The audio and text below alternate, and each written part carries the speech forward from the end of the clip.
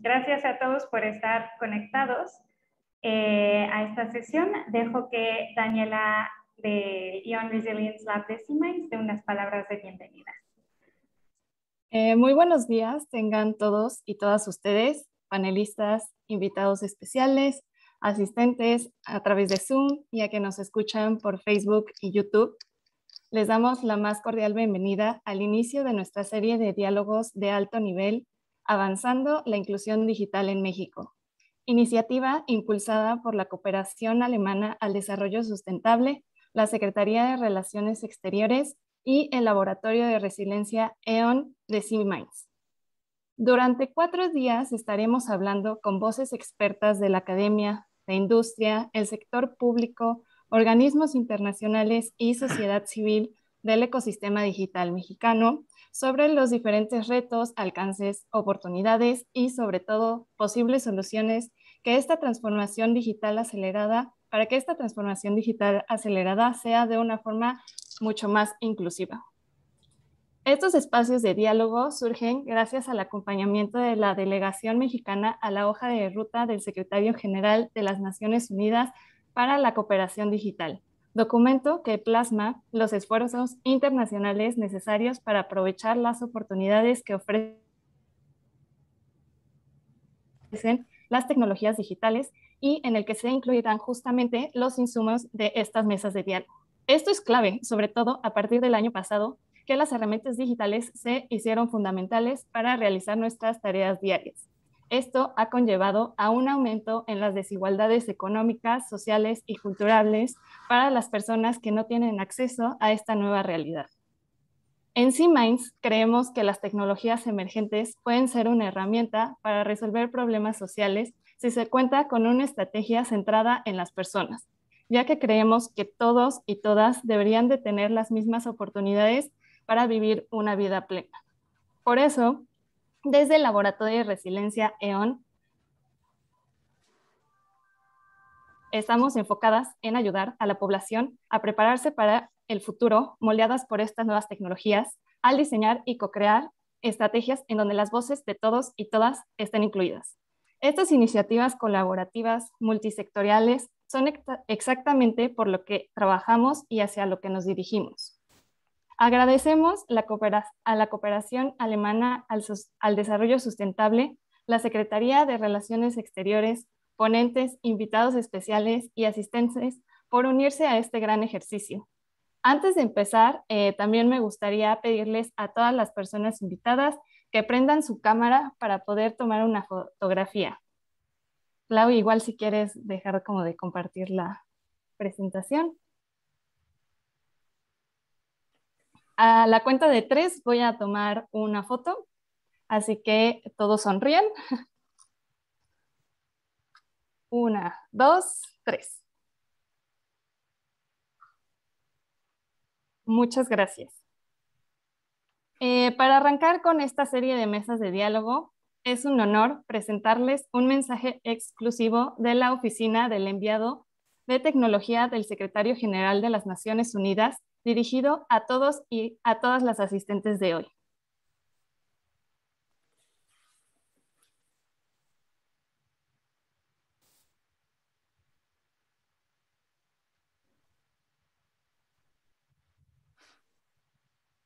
Ahí vamos. Creo que es en la, ajá, en la siguiente. Excelencias, distinguidos invitados, damas y caballeros, en nombre de la Oficina del secretario general de Naciones Unidas. Es un gran placer saludarlos en este evento sobre cómo avanzar la digital en México.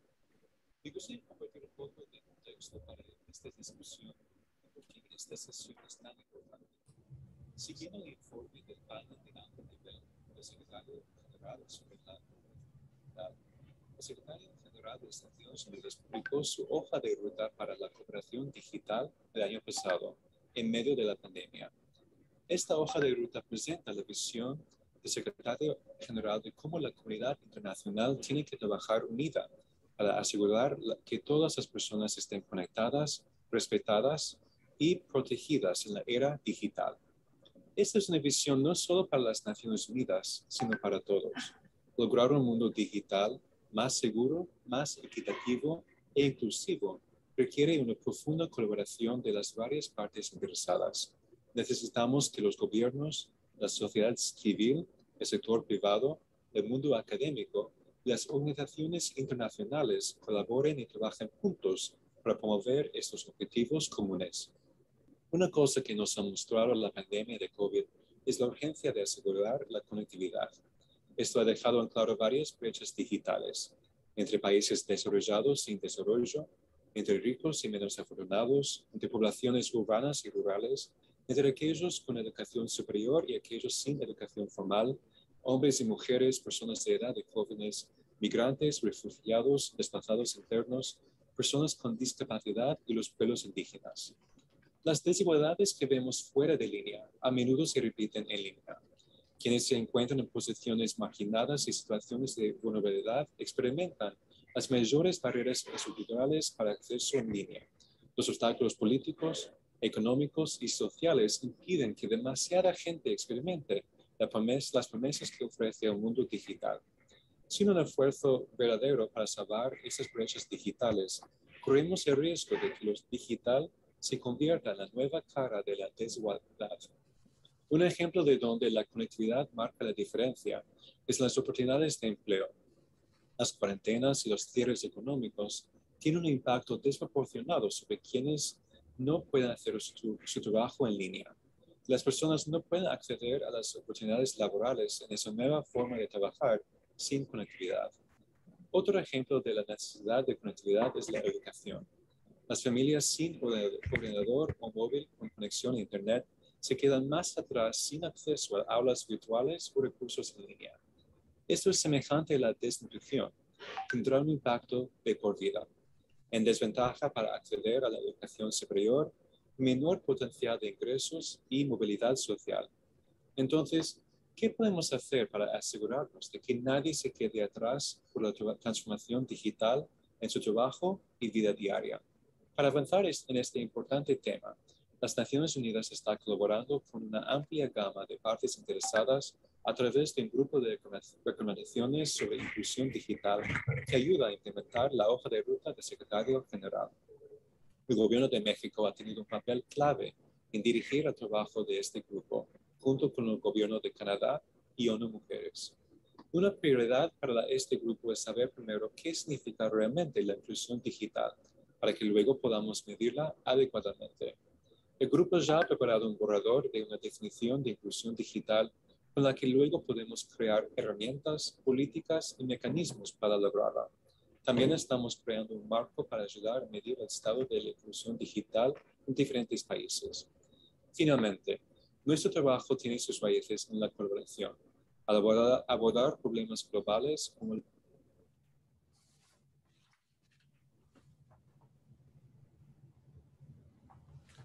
Hablando de, de lo digital, parece que que donde estoy no, todavía no terminan de, de poner bien la conexión.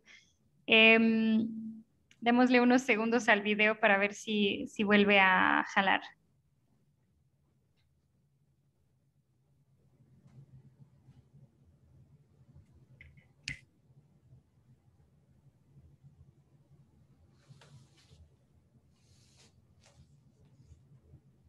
Voy a compartirlo desde otro, otra fuente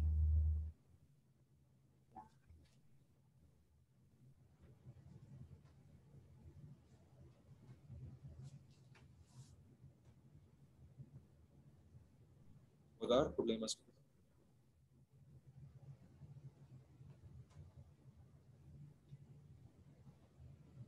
Ok, me avisan si, si lo ven y si se escucha bien.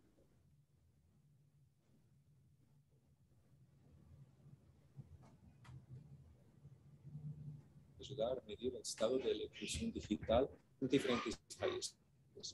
Finalmente, nuestro trabajo tiene sus raíces en la colaboración al abordar, abordar, problemas globales como la conectividad y la inclusión digital, debemos ir más allá de los entornos multilaterales tradicionales. Si bien los gobiernos tienen un papel central, la sociedad civil, el sector privado y sus investigadores, los jóvenes y los ancianos, entre otros, brindan importantes aportes. Felicitamos y agradecemos enormemente el liderazgo del Gobierno de México, del Grupo de Naciones sobre Inclusión Digital y sobre todo su compromiso y apoyo a este trabajo importante. El compromiso del Gobierno de, gobierno de México puede ser un modelo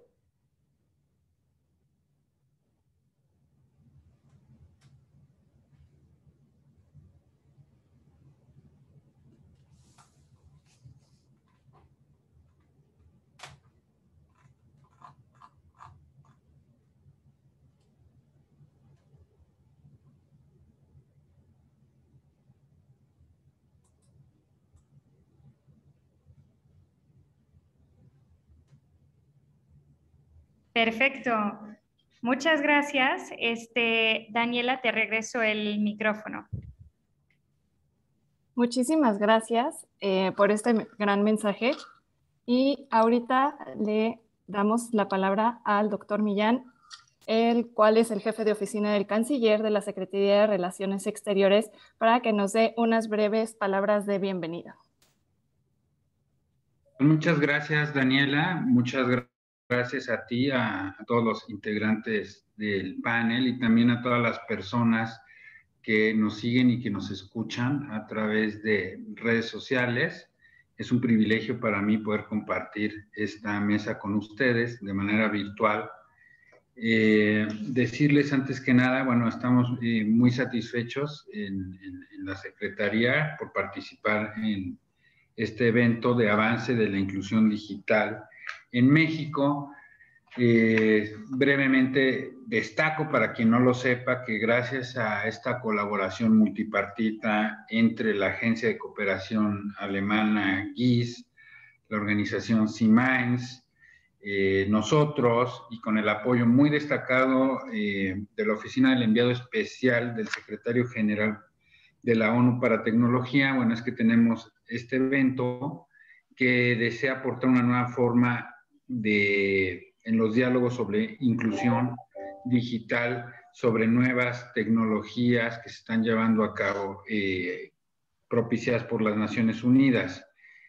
En la Cancillería, como ustedes saben, la tradición multilateral de nuestro país ha sido siempre colaborar en las mejores causas, llámese desarme, cambio climático, eh, diálogos por la paz, sobre temas, estos, todos estos temas del interés mutuo de los pueblos y las naciones que requieren pues nuestra atención y nuestro trabajo.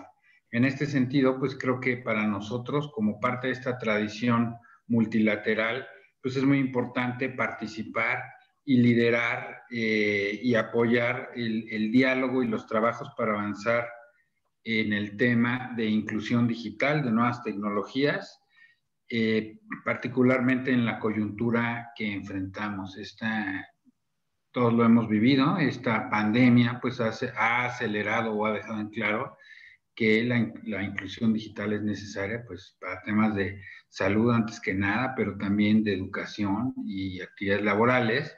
Y cuando tenemos una brecha en, en lo digital, pues también esa brecha eh, se refleja o impacta o ahonda la brecha social que tenemos en México y, en otros países de nuestra América Latina. Entonces, por eso es que para nosotros es tan importante, es por esto es muy natural que estemos buscando cuáles son los focos de innovación. Esa es una tarea que ha impulsado el canciller Marcelo Ebrard, ver cómo la tecnología eh, desde un punto de vista social puede ayudar a cerrar estas brechas y es por eso que hemos acompañado las acciones del secretario general de las Naciones Unidas en el marco de la hoja de ruta para la cooperación digital, apoyando y trabajando en conjunto con Canadá y ONU Mujeres en la recomendación 1C sobre inclusión digital. Hay algunos avances, eh, como la comprensión de la definición de inclusión global y el diseño y establecimiento de métricas comunes para visibilizar los avances de los distintos países. Esto nos sirve para que tengamos conciencia de que no estemos dejando a nadie atrás en el avance e instrumentación de las nuevas tecnologías, como acabo de decir, pues para este gobierno, para el canciller, para la secretaría, pues es, es importante el desarrollo digital, pero con un enfoque de bienestar social y para cerrar las brechas. En ese sentido, pues estamos buscando promover la inclusión, la reducción de las desigualdades sociales y digitales y empoderar a los más vulnerables mediante el acceso y la adquisición de eh, habilidades digitales. Eh, esta, pues es la visión que guía los trabajos del gobierno del presidente López Obrador, no dejar atrás a los más vulnerables. El gran proyecto de este gobierno, pues, es la conectividad universal sobre la cual se trabaja y la Cancillería, pues, eh, aporta en este esfuerzo con este diálogo de trabajo y de cooperación con otros gobiernos, con las agencias internacionales y, como, y con agrupaciones eh, como las que ustedes representan. Así que muy complacidos, muy contentos de estar aquí con ustedes y vamos a escuchar con mucha atención y a participar como siempre. Aprovecho solamente para agradecer muy especialmente a Diego Flores, quien en la oficina del canciller es quien conduce estos esfuerzos. Muchas gracias y aquí seguimos. Buenos días.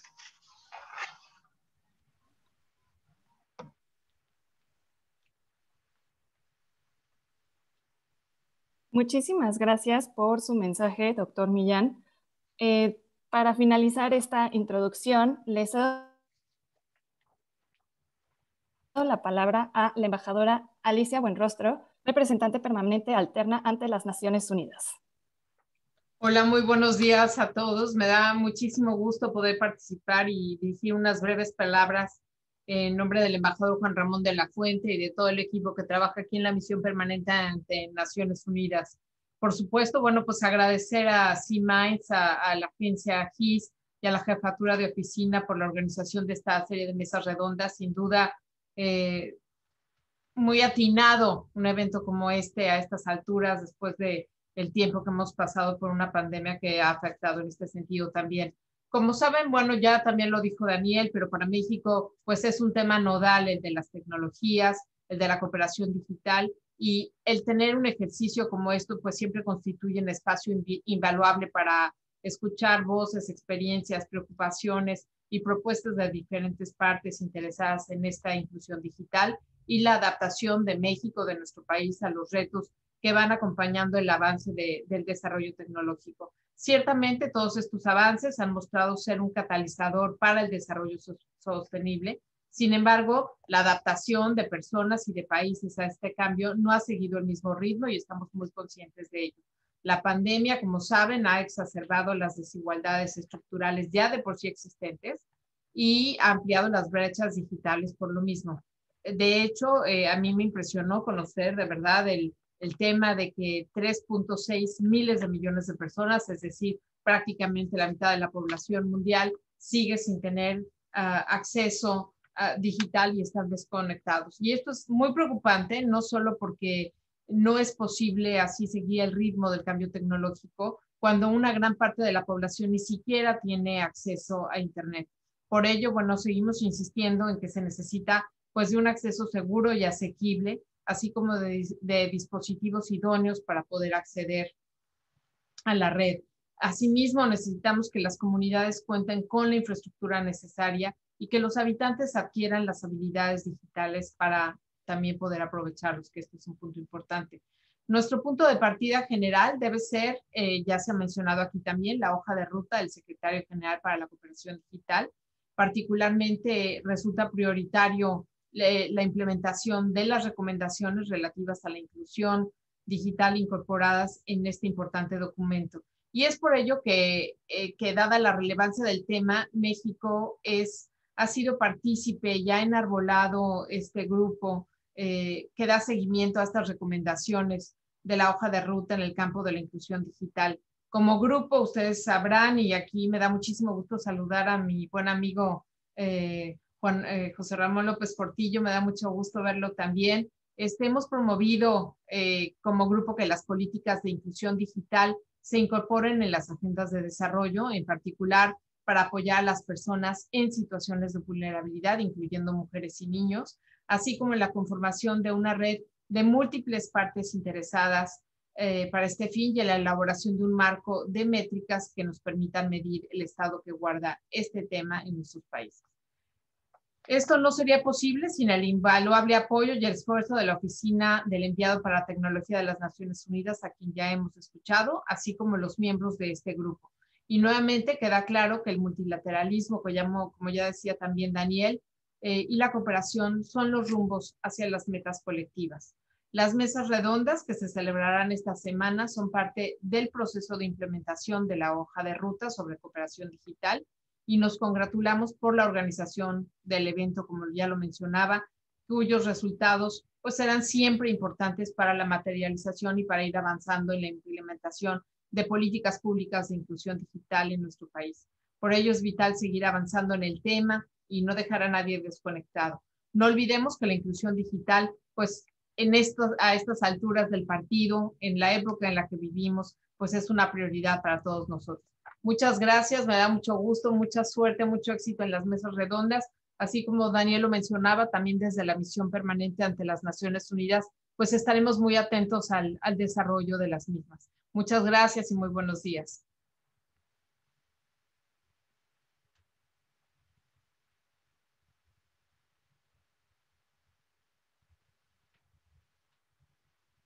Muchísimas gracias, embajadora, por esas grandes palabras.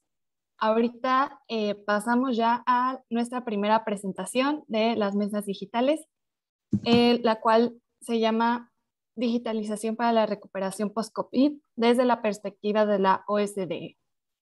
Eh, le cedo la palabra a Roberto Martínez Illasca, director del Centro de la Organización para la Cooperación y el Desarrollo Económicos en México para América Latina. ¿Qué tal? buenos días, muchísimas gracias. Es un privilegio estar el día de hoy en este foro, en esta primera mesa, eh, con eh, este, una perspectiva eh, de la OCDE. Este, muchas gracias por la invitación a la Secretaría de Relaciones Exteriores, por supuesto el apoyo de GIZ y la participación de, de C-Minds. Entonces me voy a permitir compartir una presentación que resume este, la, la, reciente publicación de la OCDE sobre panorama económico de América Latina que en su última edición se enfoca sobre la transformación digital para reconstruir mejor. Y entonces, este, orgullosamente, hemos sumado esfuerzos con nuestros eh, socios estratégicos, la CEPAL de Naciones Unidas, la Comisión Económica para América Latina, el Banco de Desarrollo para América Latina, la CAF, eh, y la, la, Unión Europea. Entonces, este, me sirve este espacio breve para hacer una, un barrido rápido de indicadores que nos eh, ubican en el contexto de que la pandemia nos ha revelado y nos ha, nos ha confirmado el hecho de que como nunca se volvió crítica la infraestructura de conectividad a, Internet, eh, entonces cerca de un 80%, particularmente en países eh, del G7, se vieron inmersos como nunca y lo admiten así en la actividad productiva y laboral vía Internet, entonces con el Internet como el insumo esencial pero este, también, bueno, eh, se ignora, bueno, en muchos de estos, de los países avanzados, el hecho de que más de la mitad de la población a nivel mundial carece de conectividad a Internet, lo cual entonces ese es el tema de hoy, de, este, de este foro, además en sus varias mesas, de cómo enfrentar esta enorme brecha digital. Y entonces, en América Latina, en el contexto de, de varios países, eh, vemos ahí eh, comparados el, el, qué tanto ha aumentado el número de usuarios de Internet entre el año 2010 y el año 2018. Y entonces vemos, por ejemplo, que en México este, el, número de internautas, vamos a llamarlas así, ha, aumentado espectacularmente en el lapso de casi una década. Se ve ahí la barra negra, que es el año 2018, la barra naranja, que es el año 2010. Pero eh, no obstante, este, vemos que eh, apenas si estamos todavía acerca o estamos, seguimos por debajo del promedio de los países de la OCDE, 38 países a nivel mundial en cuanto al número de usuarios a Internet y esto en perspectiva con otros países de América Latina, en donde vemos que de manera notable el número de usuarios de Internet en Argentina o en Chile o en Uruguay, incluso un, poco en, Brasil y en República Dominicana, está por encima de los que tenemos registrados para México. Eh, a pesar del avance, las velocidades de Internet están por debajo del promedio mundial. Vemos aquí también como México está debajo de países de América Latina como Argentina, Uruguay y Brasil por lo que toca la velocidad de conexión de la banda ancha. La calidad de la banda ancha es este, relativamente menor en México y vemos cómo, de todas maneras, aunque es baja, alcanza para funcionalidades críticas como son el teletrabajo, la, el streaming, este, la retransmisión de continuo en alta definición de audio y de video, eh, y entonces eso hace que, eh, pese a todo, este, el Internet en la calidad de que se dispone en América Latina y en México sea eh, suficiente, pero seguimos estando rezagados de manera muy notable frente a países como España, Estados Unidos y Corea. Este caso especial, el de, el de, el de Chile, y el de Panamá, donde se ve que las velocidades de conexión a Internet son, este, eh, pues, eh, han avanzado de manera muy notable.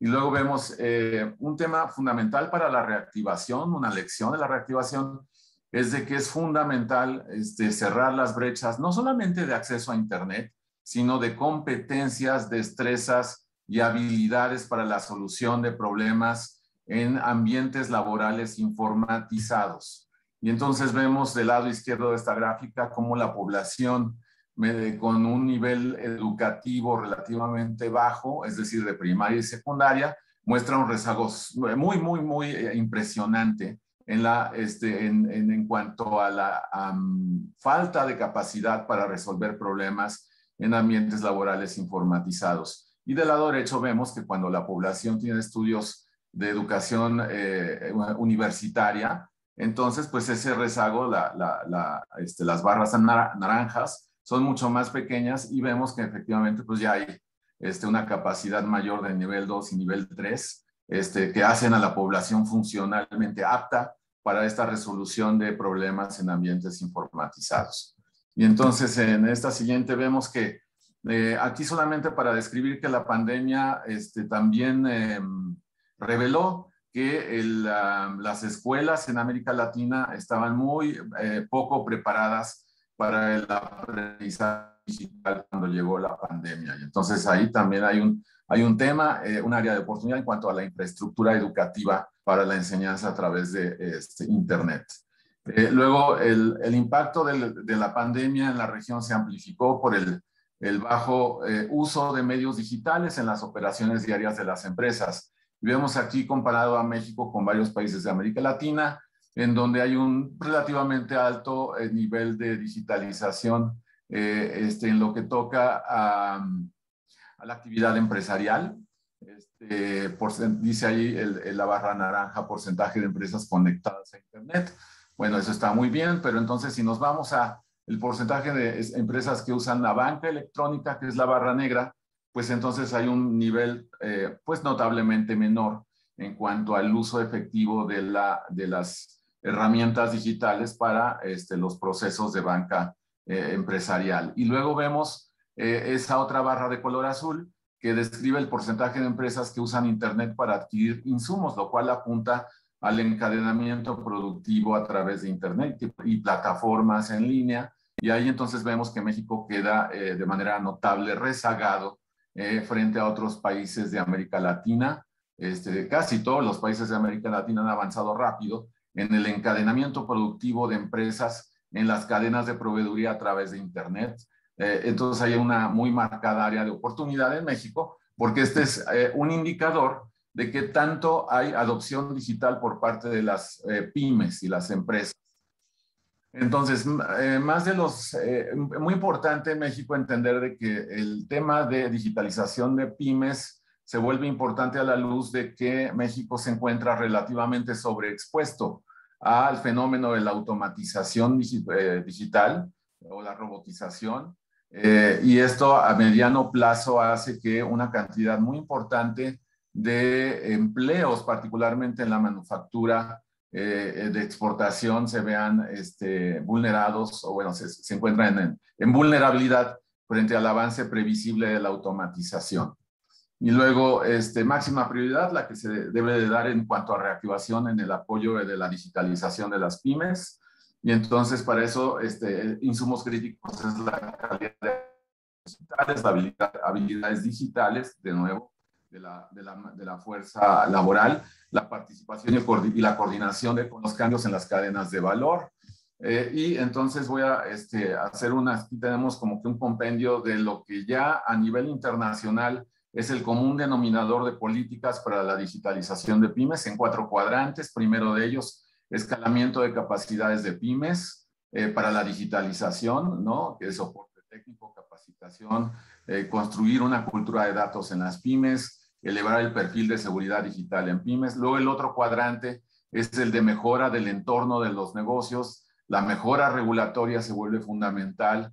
Eh, el de gobierno como palanca habilitadora y los servicios digitales en línea para pymes, eh, y la infraestructura digital de alta calidad, empezando por la velocidad de la, de la banda ancha en México. El tercer cuadrante, el acceso de pymes a recursos estratégicos, fintech, innovación, nuevas soluciones digitales, el enlace de pymes a redes de conocimiento, hubs y plataformas para aprendizaje y para poner a prueba este, nuevas herramientas. Y luego, finalmente, el enfoque transversal que debe de haber de coordinación eh, gubernamental entre programas y políticas marco de políticas y programas de largo plazo, mejor gobernanza en nuevas áreas de política, consejos consultivos y grupos interactores. Entonces, la gobernanza es un elemento esencial, como ya mencionamos, eh, este, lograr que haya prioridades muy claras en, en, las agendas digitales nacionales, en los temas que se ven ahí de infraestructura, acceso, futuro del trabajo, gobierno digital, economía digital e, e integración regional. Y entonces ahí, por ejemplo, en el caso de México se ve que ha habido un esfuerzo mayor en infraestructura y conectividad, pero un esfuerzo este, más tenue, digamos, en las conexiones entre eh, inclusión digital, futuro del trabajo, el desarrollo de gobierno digital y la economía digital en su conjunto frente a países eh, de América Latina, en, otra, el, en, el, caso de América del Sur, como en Colombia o Chile. Y entonces de ahí, pues, este, concluyo este, eh, enfatizando que las características institucionales en, la conducción de agendas digitales nacionales es fundamental para la reactivación económica post-COVID. Y entonces, eh, para ello se requieren objetivos claros, explícitos, eh, coordinación efectiva entre dependencias, procesos de consulta pública, este, una coordinación este, muy visible de los numerosos grupos de interés, pero también, también de los, de la, del seguimiento a los objetivos de agendas digitales nacionales. Con esto agradezco este espacio y pues ahí están los datos por si quieren ver a mayor detalle eh, eh, la publicación que cito del Panorama Económico de América Latina sobre transformación digital. Muchas gracias. Perfecto, muchísimas gracias por esta gran presentación. Ahora le cedo la palabra a Claudia del Pozo, la directora del Laboratorio de Resiliencia EON de para empezar esta conversación.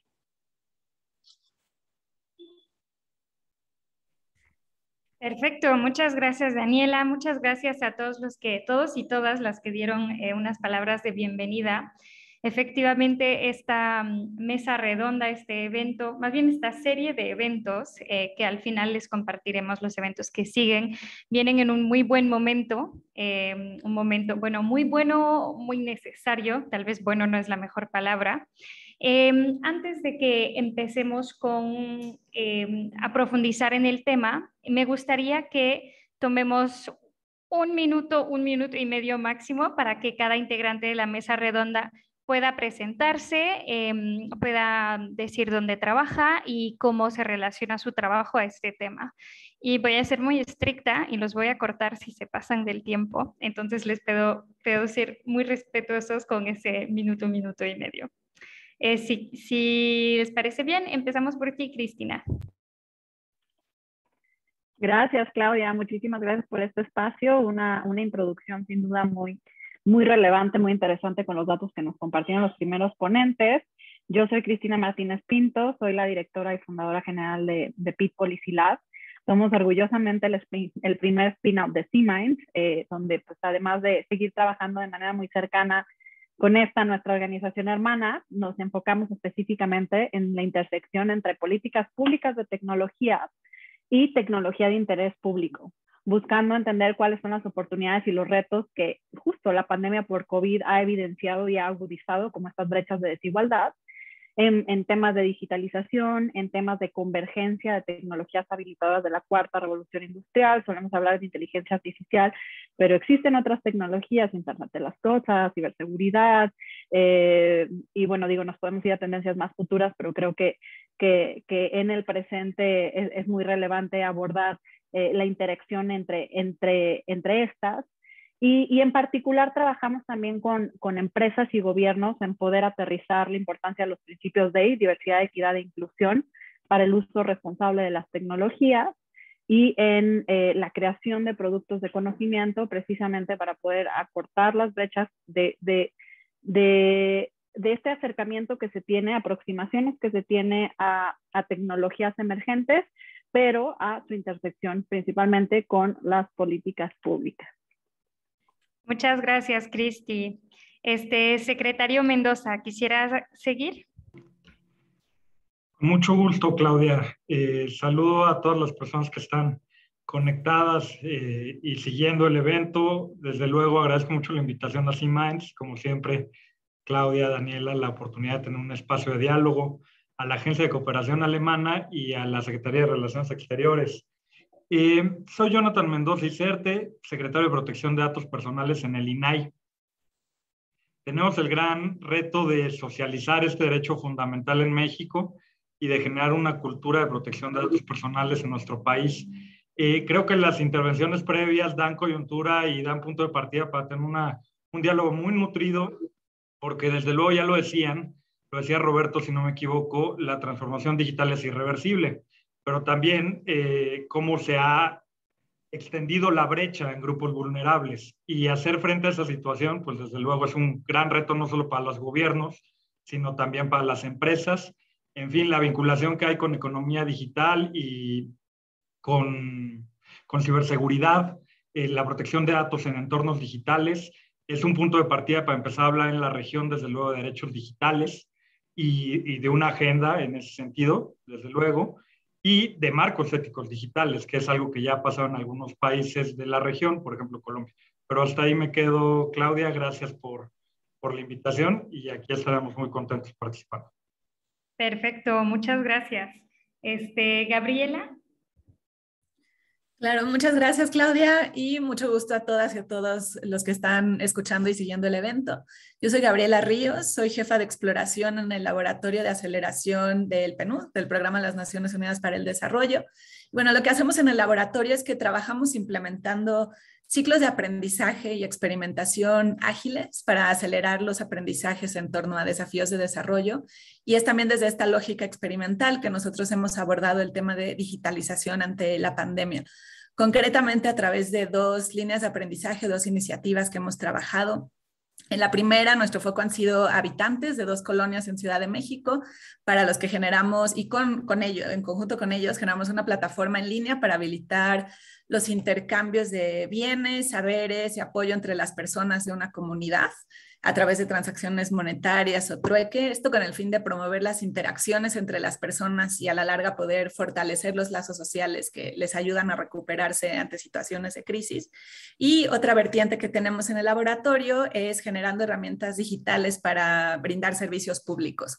Concretamente, ahí hemos abordado el tema de atención a la violencia doméstica en Ciudad de México, en donde experimentamos con el diseño y el piloteo de una herramienta para ayudar a las personas que dan atención en los centros Luna a poder brindar de forma más ágil eh, la atención a las mujeres que sufren de violencia doméstica y dar un mejor seguimiento de los casos.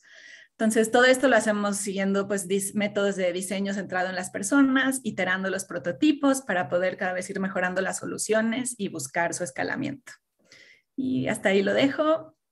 Muchas gracias. Gracias, gracias Gabriela. Y sí, efectivamente, surge todo un, tema de género a partir de estas conversaciones, que tendremos una conversación enfocada en ese tema mañana. Em, Ingrid, te, te dejo presentarte. Muchas gracias, Claudia. Gracias a todas las organizaciones que hicieron posible este evento y a quienes están ahorita conectados siguiendo la transmisión. Em, yo soy Ingrid Chávez, soy investigadora y analista de políticas públicas en el IMCO, el Instituto Mexicano para la Competitividad, que es básicamente un think tank donde nos, eh, eh, nos dedicamos a pues, investigar temas relacionados al desarrollo de México, ¿no?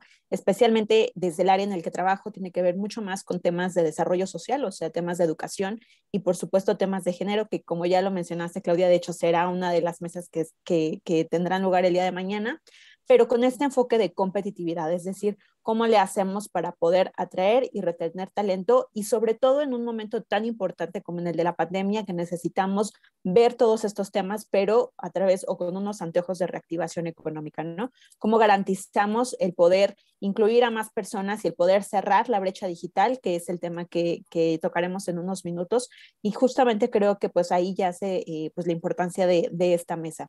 Entonces, pues muchas gracias por la invitación y, pues nada. Gracias, Ingrid. Em, José Ramón, te cedo la palabra. Muchas gracias. Eh, me da mucho gusto saludarlos a todos y muy en particular a mi amiga la embajadora Alicia Buenrostro, así como a Daniel y a, y a Diego, a quienes conozco desde hace algún tiempo. Gracias a todos por, por, por la invitación. Em, yo, una de las actividades que hago es eh, como miembro del grupo de 10 expertos del mecanismo de facilitación tecnológica de Naciones Unidas, en donde hemos impulsado eh, tres eh, tipos de actividades fundamentalmente. Uno es eh, un sitio en línea, una hoja en línea sobre las tecnologías. Segundo, hojas de ruta para que los países implanten cursos de ciencia, tecnología e innovación. Y finalmente, libros guía para que esto, esto suceda apoyados en eh, stakeholders, en, participantes interesados en, ello, gobiernos, eh, empresas, etc. El ah, mecanismo em, de facilitación tecnológica es un instrumento fundamental de Naciones Unidas y comprende, entre otras eh, cosas, esta actividad sobre el impulso digital. una de mis principales preocupaciones es que entendamos que esto está inscrito, como ya se mencionó, en tecnologías enormemente poderosas que siguen avanzando como un tsunami. No se va a detener ahora y esto no es el final, estamos apenas al principio y la digitalización es parte de una transformación radical de la economía mundial y desde luego eh, de la mexicana que es inevitable. Eh, y es en este contexto en que tenemos que, que actuar para montarnos en la ola y no caer en la, irrelevancia eh, económica, social, cultural, etc. En un mundo de cambios tecnológicos eh, acelerados y de desafíos eh, globales existenciales como el cambio climático, cuyo reporte acabamos de ver hoy, ningún país o grupo social superará los riesgos existenciales que se nos vienen encima si no incluimos a todos en este esfuerzo. Básicamente lo quiero decir, y es por eso que también participo aquí. Estamos sumando fuerzas en, en, en el grupo, en, Naciones Unidas, para que todos actuemos conforme a los destinos de la, de la Agenda 2030 y los Objetivos de Desarrollo Sostenible. Gracias. Gracias a ti, José Ramón. Qué gusto tenerte por aquí. Em, y terminamos con Leticia, porque Roberto de la OCDE creo que ya, ya nos platicaste muy bien de, de lo que hacías. Entonces, adelante, Leticia. Muchas gracias, Clau. Muchas gracias a todas y todos. Mi nombre es Leti Gasca. Yo soy co-chair del Comité de Educación y Empleo de Global Shapers del Foro Económico Mundial, donde básicamente trabajamos en una estrategia global para preparar a los jóvenes para el futuro del trabajo, que en realidad es el presente laboral. Como dice, el futuro ya llegó, pero está desigualmente distribuido. Y además de eso, tengo otro sombrero donde eh, trabajo en FADEM AI apoyando a organizaciones multinacionales, empresas y a gobiernos a utilizar ciencia de datos para informar decisiones en torno a cómo debe ser la educación del futuro, qué impacto va a tener la tecnología y cómo asegurarnos que todos sigan teniendo la oportunidad de tener un empleo digno. Muchas gracias. Muchas gracias, Leti. Pues gracias a todos por haberse presentado. Em, ahora vamos a empezar con, la mesa de diálogo, donde la idea es hablar más sobre este tema de transformación digital que se volvió que, antes, bueno, pues ya, ya íbamos en eso, ¿no? Pero con la pandemia se volvió ya no opcional y así quieres eh, seguir para adelante como negocio o como estudiante, tienes que meterte a la transformación digital que conlleva eh, algunos retos y también beneficios. Em, y también hablar de, pues, concretamente qué podemos hacer, o sea, recomendaciones para diferentes, eh, para diferentes sectores, recomendaciones de política pública. Entonces, en sus respuestas, no duden en, si, en, realizar recomendaciones muy específicas, aunque tendremos una última ronda de preguntas. Em, enfocadas en eso.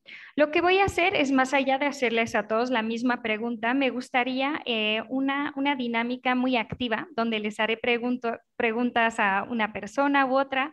No duden en levantar la mano eh, o realmente levantar la mano o con la aplicación Zoom si quieren rebotar sobre eso. La idea es platicar y no estar este, cada uno en, en, su, en su esquina, ¿no?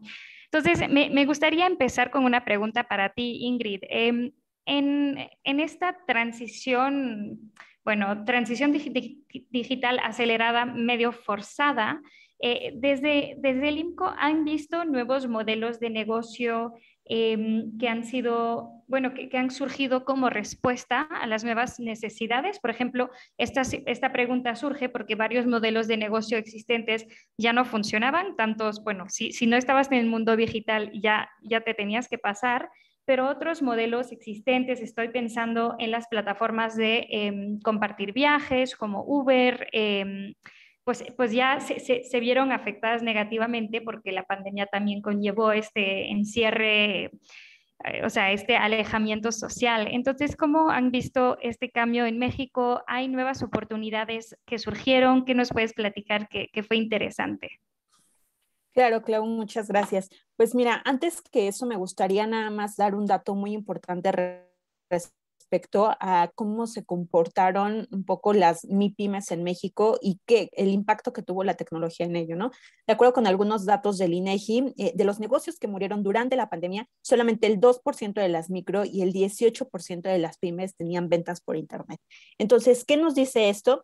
Que evidentemente eh, la adopción de tecnología como parte de un modelo de negocios, como ahorita ya lo mencionabas, es fundamental en un momento tan importante como este, donde pues básicamente tuvieron que hacer un cierre forzado en muchas de las empresas, en muchos de los negocios que apenas estaban empezando, pero que sin duda el poder adoptar la tecnología y el poder implementar nuevas estrategias de venta a través de, ya sea de Internet, a través de plataformas de, dispositivos, evidentemente, o de algunas aplicaciones, les permitió el poder garantizar que siguieran avanzando en temas de reactivación económica, ¿no?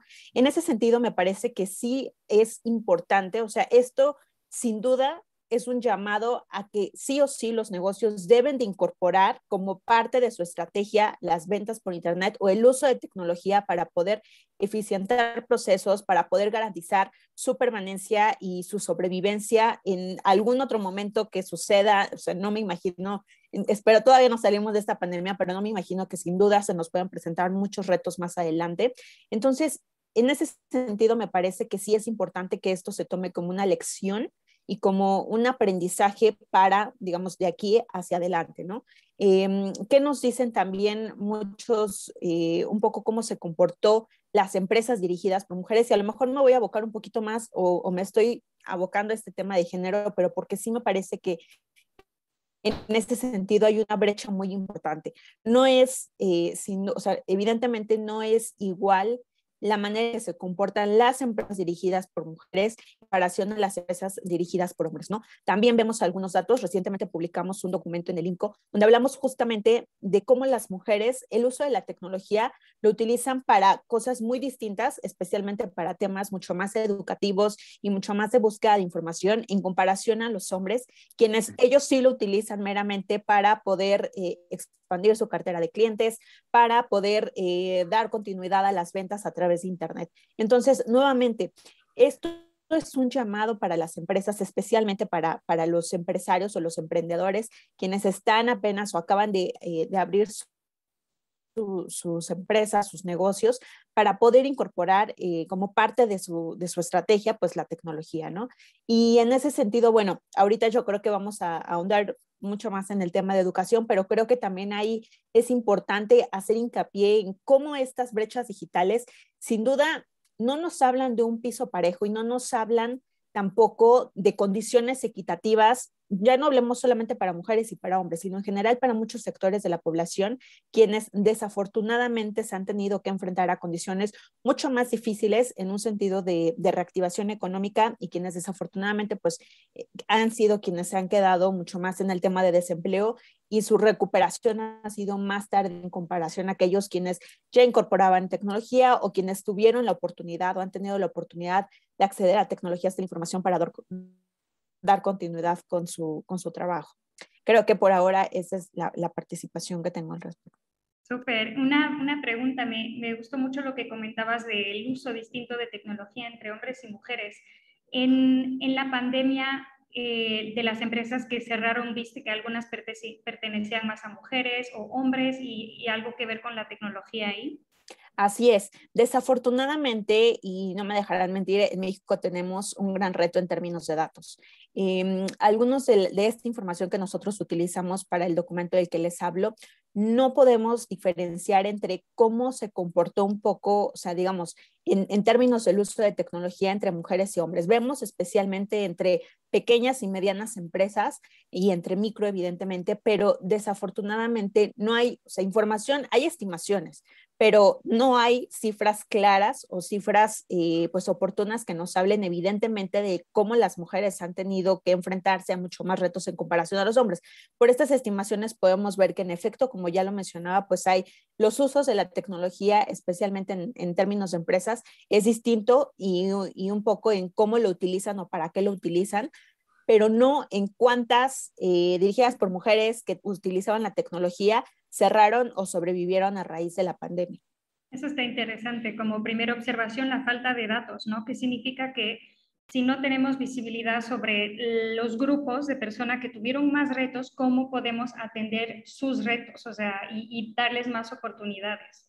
Leticia, levantaste la mano para, para comentar sobre la participación de Así es, muchas gracias, Clau. Eh, sí, me llamó mucho la atención escuchar a Ingrid hablar acerca del impacto que tuvo, eh, digamos, la carencia de tecnología y habilidades digitales en las pequeñas empresas en México. Como muchos de ustedes saben, el tema del fracaso empresarial es muy cercano a mí como cofundadora del movimiento Focus Nights y del Failure Institute.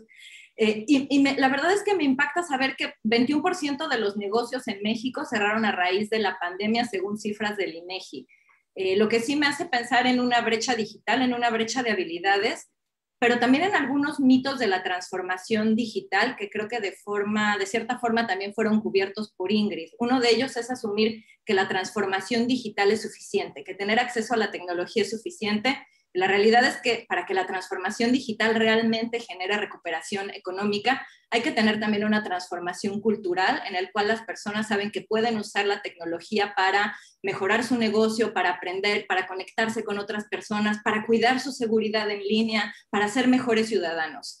Em, y, finalmente también reconocer que para que la transformación digital efectivamente se refleje en una recuperación económica, es importante realizar un ejercicio de identificar riesgos y también oportunidades. Oportunidades, em, y, doy un, paso atrás para terminar mi, participación. Em, algo que viene con la transformación digital y que veo día a día con mis clientes de todo el mundo es que desde luego se presentan riesgos como lo que comentaba Roberto Martínez de la OCDE en torno a automatización, al impacto de tecnología que automatiza eh, actividades humanas y cómo se desplazan los seres humanos, lo que no necesariamente sucede todo el tiempo. También hay oportunidades, por ejemplo, la oportunidad tecnología para incrementar la capacidad humana, para ser mejores resolviendo problemas, para ser más rápidos, más eficientes, para cuidar incluso nuestra propia seguridad al trabajar. Em, creo que es parte del ejercicio que tenemos ir por este balance de riesgos y oportunidades. Y entre los riesgos, para cerrar mi participación, solo voy a destacar que hemos encontrado que muchas veces los grupos más vulnerables son más impactados por la automatización tecnológica y desde luego esto no tiene que ver con la forma en la que los hombres y las mujeres conviven con la tecnología. Esto tiene que ver con el tipo de trabajos que suelen tener los grupos vulnerables que también tienden a ser más fácilmente automatizados. Muchas gracias. Se me olvida que estoy en mute. Gracias, Leti, qué buena participación. Y sí, creo que estamos muy lejos de los días cuando decíamos que crecimiento económico es igual a eh, crecimiento social, impacto social. O sea, tenemos que tener realmente estrategias para transformar el crecimiento económico en impacto social o... Em, o completamente líneas de acción distintas. Y creo que aquí, Cristina, podrás aportar una muy buena perspectiva. Muchas gracias, Claudia. Yo, yo solamente quería compartir que estoy completamente de acuerdo con, con, Leticia, con lo que mencionaba respecto a la transformación digital. No, no, es solo, no es solo el acceso, no es solamente un tema de conectividad, va directamente ligado con un tema de habilidades digitales y de transformación cultural. Algunos datos que a mí me parecieron muy interesantes eh, relacionados justo con las pymes, tiene que ver con que en el último año el 36 eh, por ciento de las pymes tuvieron su primera presencia digital, el 38% de, de empresas tuvieron su primera venta en línea y respecto a las que ya tenían presencia digital, el 50% duplicó su, su, crecimiento en Internet en este último año. Me parece que, que, que esto eh, es muy relevante, por ejemplo, en el contexto del reporte en el que estamos trabajando juntas para el futuro del trabajo de León, se hablaba sobre, sobre los retos que presenta, por ejemplo, la industria tradicional de cuero calzado eh, en este municipio. Y, y lo interesante es cómo aquellas empresas que ya tenían habilitados procesos en línea fueron aquellas que pudieron sobrevivir y cómo muchas de estas familiares, eh, las juventudes jugaron un rol determinante en introducir la tecnología como un elemento clave en, eh, pues en el desarrollo de procesos de tecnología.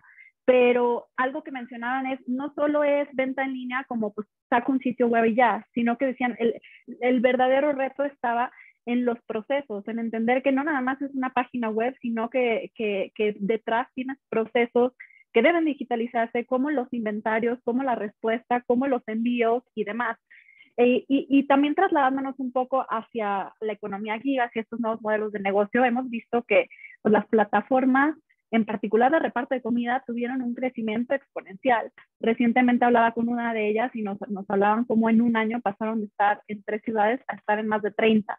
Y esto creo que, que, lo ligo con lo que mencionaba también Leticia sobre oportunidades y retos, porque, e Ingrid incluso sobre las condiciones laborales, porque, porque representan empleo, nuevas fuentes de empleo, pero de nuevo tenemos estos indicadores que, que deben, o, tal vez esta falta de indicadores que deben de crearse respecto a, cómo impactan de manera diferenciada por género, es decir, qué tantas repartidoras están accediendo a estos empleos, qué tantas conductoras están utilizando las, las plataformas de, de, movilidad compartida con relación a, a conductores. Y, y, esto nos hace pensar pues, en la necesidad no solamente de tener datos para poder hacer el análisis y para poder responder de manera diferenciada a los retos que enfrenta cada segmento, pero, pero también de, de cómo pues este crecimiento nos lleva a pensar en exponencial en, en y, y, habilitación de nuevos trabajos, nos lleva a pensar en, en, también estos retos que vienen de, la, de, de, un nuevo pacto social, de un tema de seguridad social, de las condiciones laborales y demás, que ha sido una discusión compleja que, que, ha tenido lugar en los últimos años con la entrada de este tipo de plataformas, pero que sin duda eh, hay que abordarla desde la perspectiva en particular de una recuperación post pandemia en, en, la necesidad de reactivar la economía. Entonces, me parece que aquí vemos algunas, en este tipo de, de, de aspectos de la economía geek, podemos identificar eh, áreas sobre las cuales hay que debatir, sobre las cuales hay que eh, conversar e iniciar diálogos respecto a qué podemos hacer desde las distintas trincheras que representamos. Sí, completamente. O sea, sí, la digitalización es el futuro, no nos podemos ir para atrás. Tal vez algo que, que falta, y aquí me gustaría abrirle, bueno, pasarle el micrófono al secretario Jonathan Mendoza, eh, es, es cómo podemos guiar esta transformación digital de manera segura, ¿no? Hablando de protección de datos personales, eh, de repente muchas empresas eh, tal vez empezaron empresas y bueno, aquí yo creo que este tema toca dos líneas esenciales de nuestra sociedad, el trabajo y la educación. que, que de repente se vieron obligadas a pasarse al mundo digital, ¿cómo podemos garantizar que este crecimiento se dé de forma sostenible, cuidando los datos que se están formando o la, el, nuevo nivel de, de, cantidad de datos que tenemos, ¿no? Gracias, Claudia. No, la verdad me parece muy interesante lo que dice Leticia. Estoy totalmente de acuerdo con, con ese punto de vista, incluso eh, cómo lo complementó eh, Cristina, porque sabes que el uso de tecnología no es, eh, digamos, una, no inmediatamente por usar tecnología significa que la utilizas de una manera adecuada, ¿no? Y, creo que ese es uno de los puntos que tendríamos eh, que reflexionar, porque posiblemente muchas personas tuvieron oportunidad de sobrevivir en su negocio, algunas de ellas con motivo de la pandemia, pero no sabemos si esa tecnología fue utilizada de una manera adecuada. Yo les podría anticipar que, eh, como ustedes bien lo saben, tenemos un déficit a nivel no solo país, sino regional en expertos en materia de protección de datos personales y también en temas de, ciberseguridad. Seguramente eh, pueden utilizar tecnologías disruptivas, ¿no? Como inteligencia artificial, machine learning, deep learning, big data, uso masivo de datos personales, pero no sabemos si se están utilizando de una manera adecuada. ¿Y ¿Por qué no lo sabemos? Porque generalmente al momento de desarrollar este tipo de tecnología, la privacidad por diseño, por defecto, no es uno de los aspectos a desarrollar o no en todos los casos. ¿Y cuál es la consecuencia directa, Claudia? Que a lo mejor utilizas tecnología y sales adelante en una situación de economía digital o de, o de comercio electrónico, pero eventualmente tienes muchos sesgos en cómo utilizaste esa tecnología y eso puede ser potencialmente un motivo de vulneración de estos datos personales que aparte son la materia prima para poder vender eh, o, ofrecer servicios en línea. Entonces, eh, más allá de la visión y la postura que siempre tiene que ser la de tutelar derechos fundamentales y poner al titular en el centro, etcétera, ya hablando de cuestiones más eficaces y de implementación, creo que vamos a empezar a ver en este año y en el siguiente las consecuencias de utilizar tecnología de una manera eh, no adecuada o, o, no documentada. Y un ejemplo muy claro es cómo empezamos a desarrollar laboralmente el día a día en algunos casos. Tú sabes que muchas de las personas, eh, en algún lapso de tiempo me incluyo, utilizamos nuestros dispositivos personales para eh, llevar a cabo cuestiones personales. Sea, este esquema de Bring Your Own Device y cómo haces la separación entre las medidas eh, de seguridad técnicas, físicas y administrativas que tienes respecto a información empresarial o institucional y la información personal y cómo logras que no se mezclen. Eh, desde luego, nada más para acabar esta parte, hablar de materia prima, datos personales en entornos digitales, eventualmente marketing digital, que es cómo puedes ofertar y cómo proteges los derechos fundamentales, específicamente privacidad y protección de datos eh, en estos entornos. Y por eso yo hablaba de derechos digitales y de marcos éticos digitales. Claro que no pueden ser eh, implementados de, un, de un plumazo, si me permiten el término tiene que haber una experiencia previa para saber que las cuestiones socioculturales de cada uno de los países están adaptadas a la realidad y que no estamos hablando de legislar, eh, digamos, sin la colaboración que hablaba José Ramón de todos los actores involucrados. Las colaboraciones público-privadas son indispensables para llegar a la solución de todos los grupos de interés. Eh, hasta ahí dejaría mi participación. Gracias, Jonathan.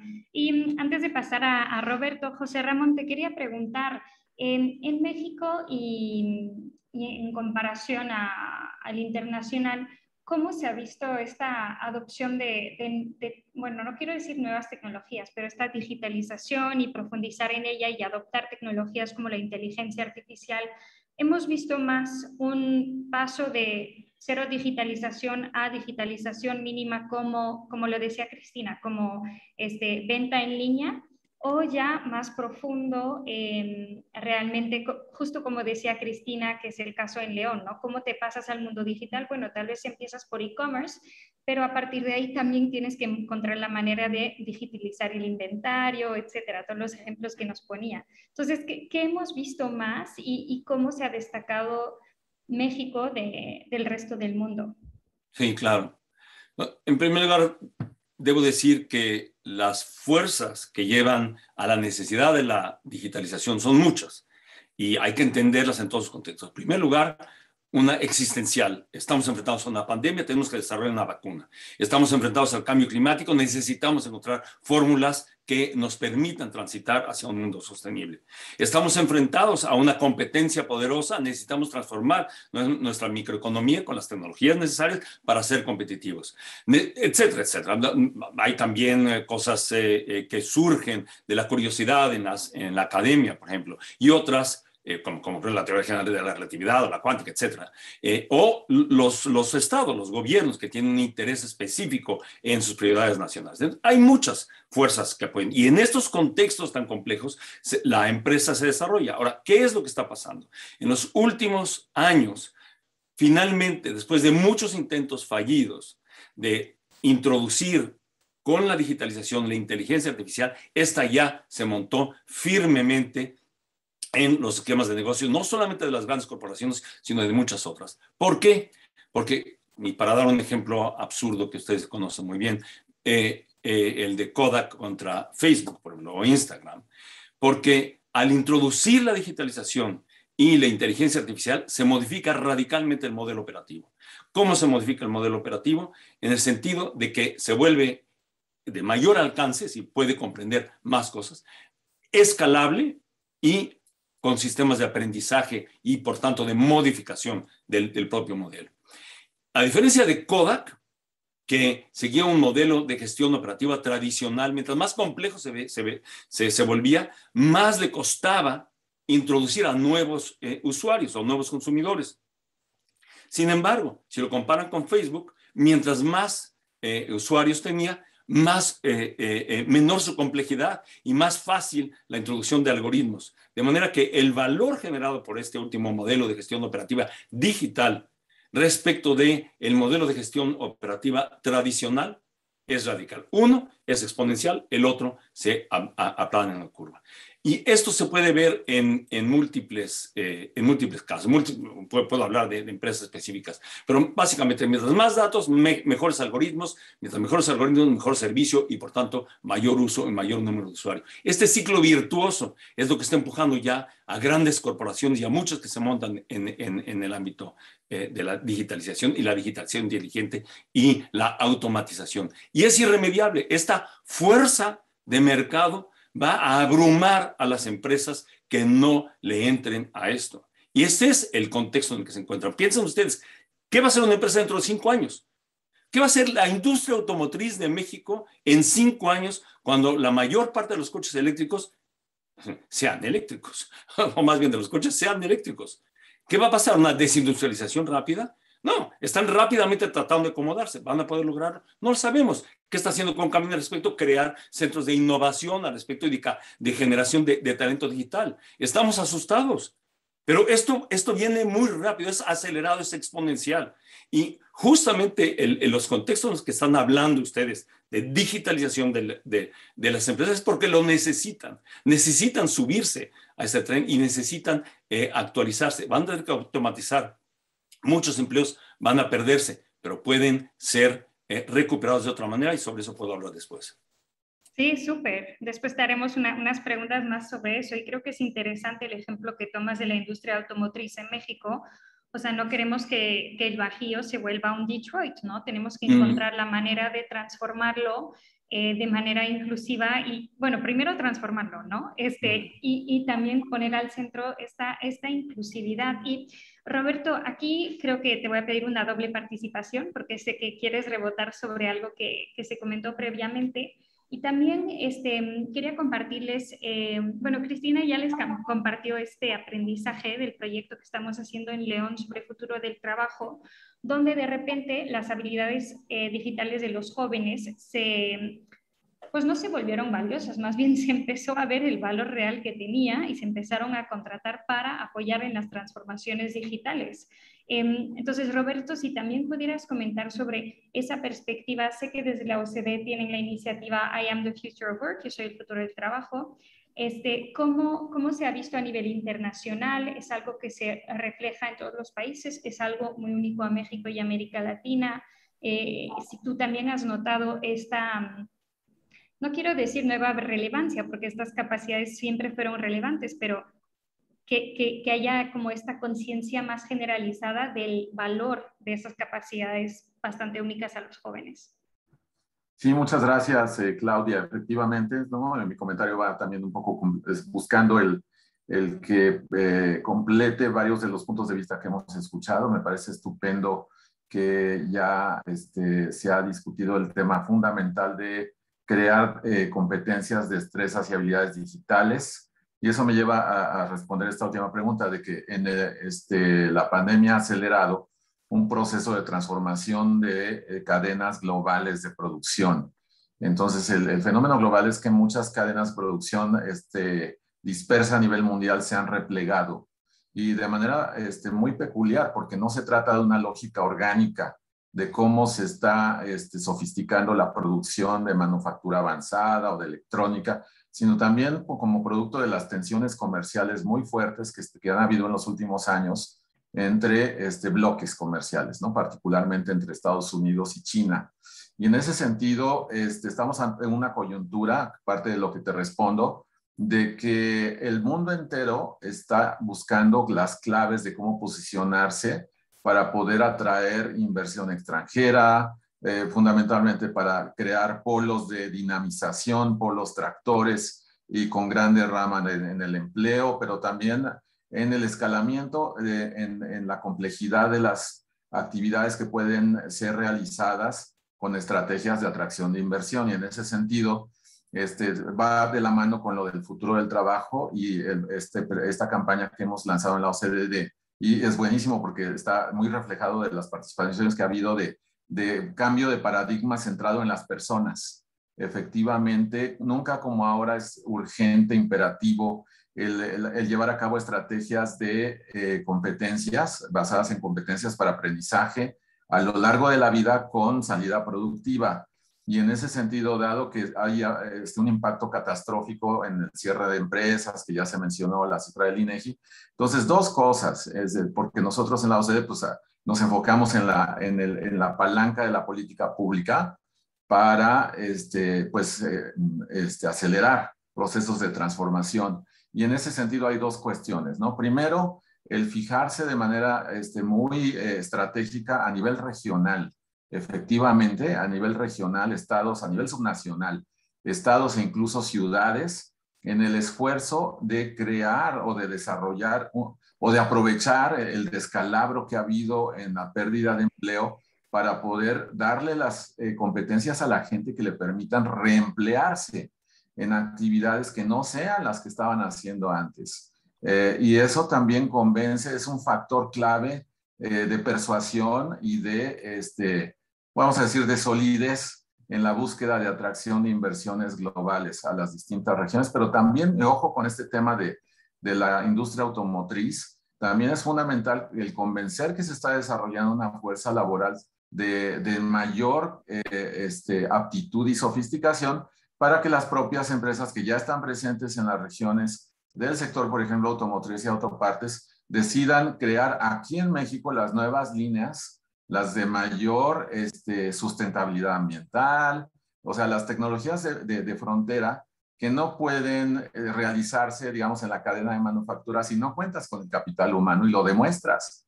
Y entonces, para que no efectivamente no sigamos produciendo lo mismo y eventualmente lleguen las máquinas y se cierren plantas este, por, por cuenta de la robotización. Entonces, muy importante eso. Y solamente para completar el, el, el argumento de dos otros botones o catalizadores habilitadores de la política pública. Uno súper importante para que también haya este cambio cultural en las pymes es que las pymes vean un salto cualitativo en la calidad y en la eficiencia de la tramitología y por eso la mejora regulatoria a través de ventanilla digital, por ejemplo, se ha vuelto una palanca poderosa también a nivel estatal.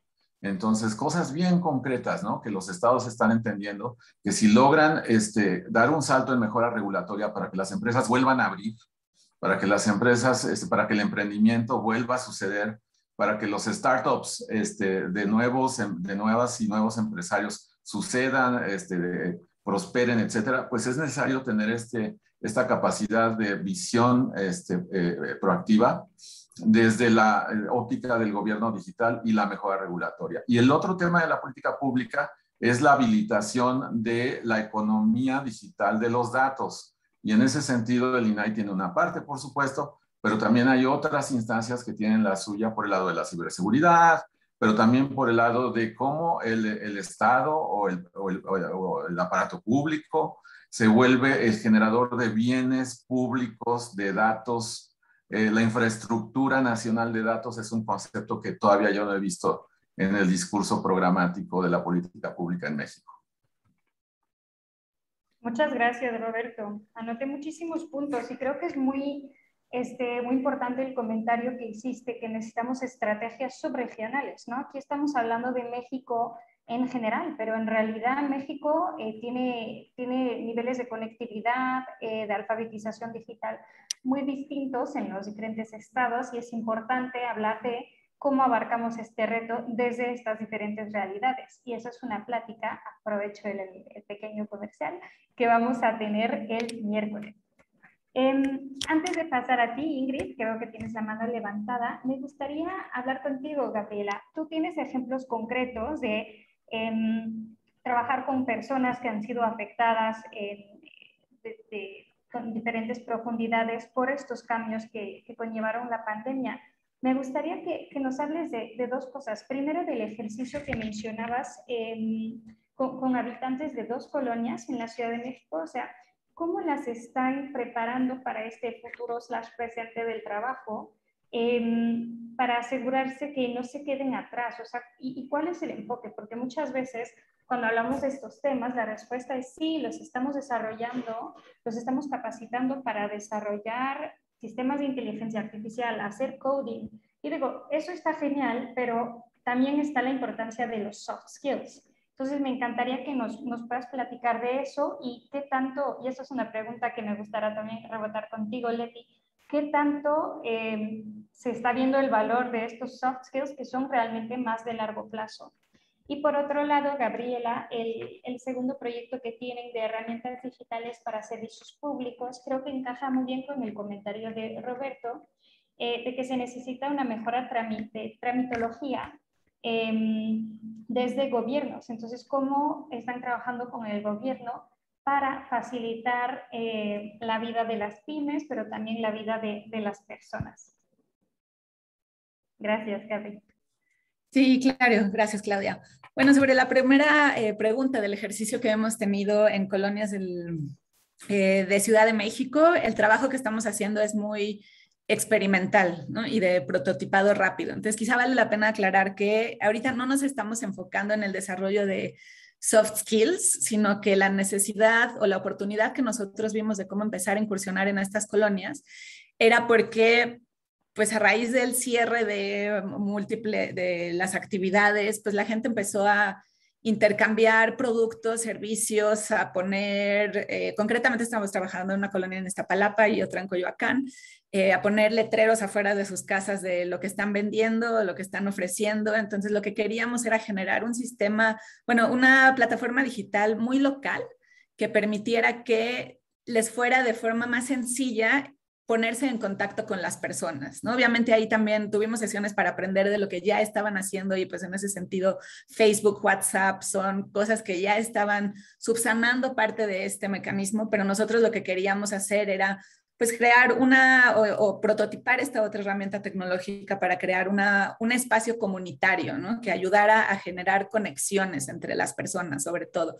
Y creo que ese es un aspecto si bien ahorita no nos dedicamos a soft skills, sí creo que es un aspecto que vale pensar a través de la digitalización, ¿no? Cómo habilitamos también las herramientas tecnológicas para permitir la creación de lazos sociales entre las personas, sé que no siempre es, posible o no en todos los ámbitos es relevante, pero cómo le hacemos también para que esa interacción eh, que se va formando, por ejemplo, en este caso de generar comercio, productos, pues no se pierda el contacto humano que se tenía físicamente, ¿no? Y que finalmente ayuda a crear redes más poderosas de colaboración que se puedan dar apoyo eventualmente cuando se necesite.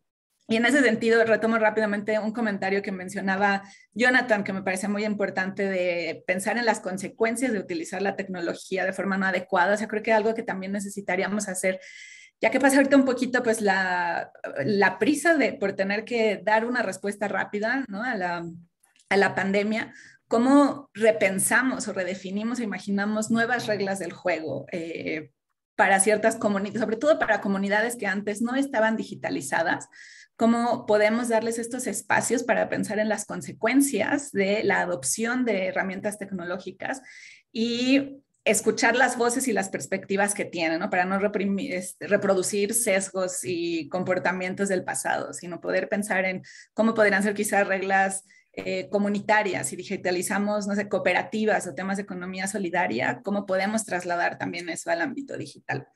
Y ya nada más para eh, no extenderme mucho, rápidamente algo sobre la segunda pregunta que me hacías de los servicios públicos, eh, concretamente si nos estábamos enfocando en temas de cómo ayudarle a los centros Luna a brindar una mejor atención a las mujeres.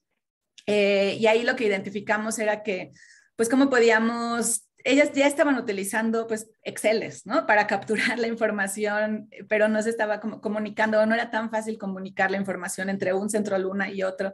Entonces ayudamos a crear un sistema que centralizara más la información de todos los centros Luna y poder ayudar a monitorear eh, la información de los casos que se van siguiendo y una necesidad que identificamos como quizá para desarrollar en el futuro es pues cómo podemos ayudar también a través de la tecnología a atender la salud mental de las personas que brindan este tipo de servicios, ¿no? Porque es también muy desgastante para ellas, implica una gran carga emocional el, pues el brindar atención en temas de violencia doméstica. Entonces, ¿cómo pensamos también a través de la tecnología y de la digitalización abordar toda esa parte emocional?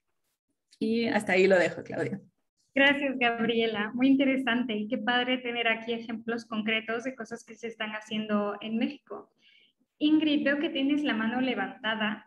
Em, te, dejo rebotar sobre el, comentario y también te quería preguntar sobre si nos pudieras decir un poco cómo, cómo ha estado el tema de inversión extranjera en México, que, ya se mencionó en esta mesa, y, qué piensas que...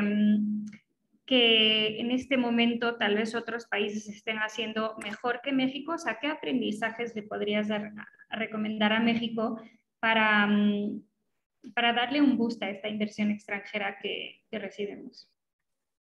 Claro, gracias Claudia. Pues mira, la verdad es que quiero nada más, eh, un poco mi primera participación es complementando lo que Roberto Martínez ahorita mencionaba alrededor de los retos que nos enfrentamos y, nada más aquí sí dejar muy bien claro, o sea, por sí sola la tecnología no va a generar esta reactivación económica de la que tanto hablamos, ¿no?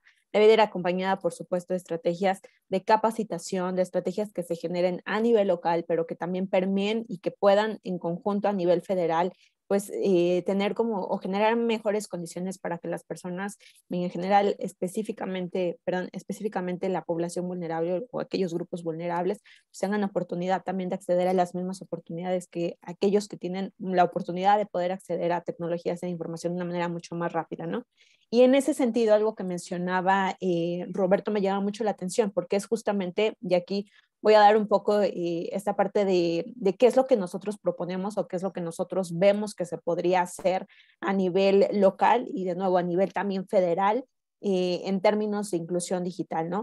Eh, Roberto habla perfecto de esta ventanilla única, pero vuelvo a lo mismo, o sea, por sí sola evidentemente la tecnología no va a generar estos cambios que estamos esperando.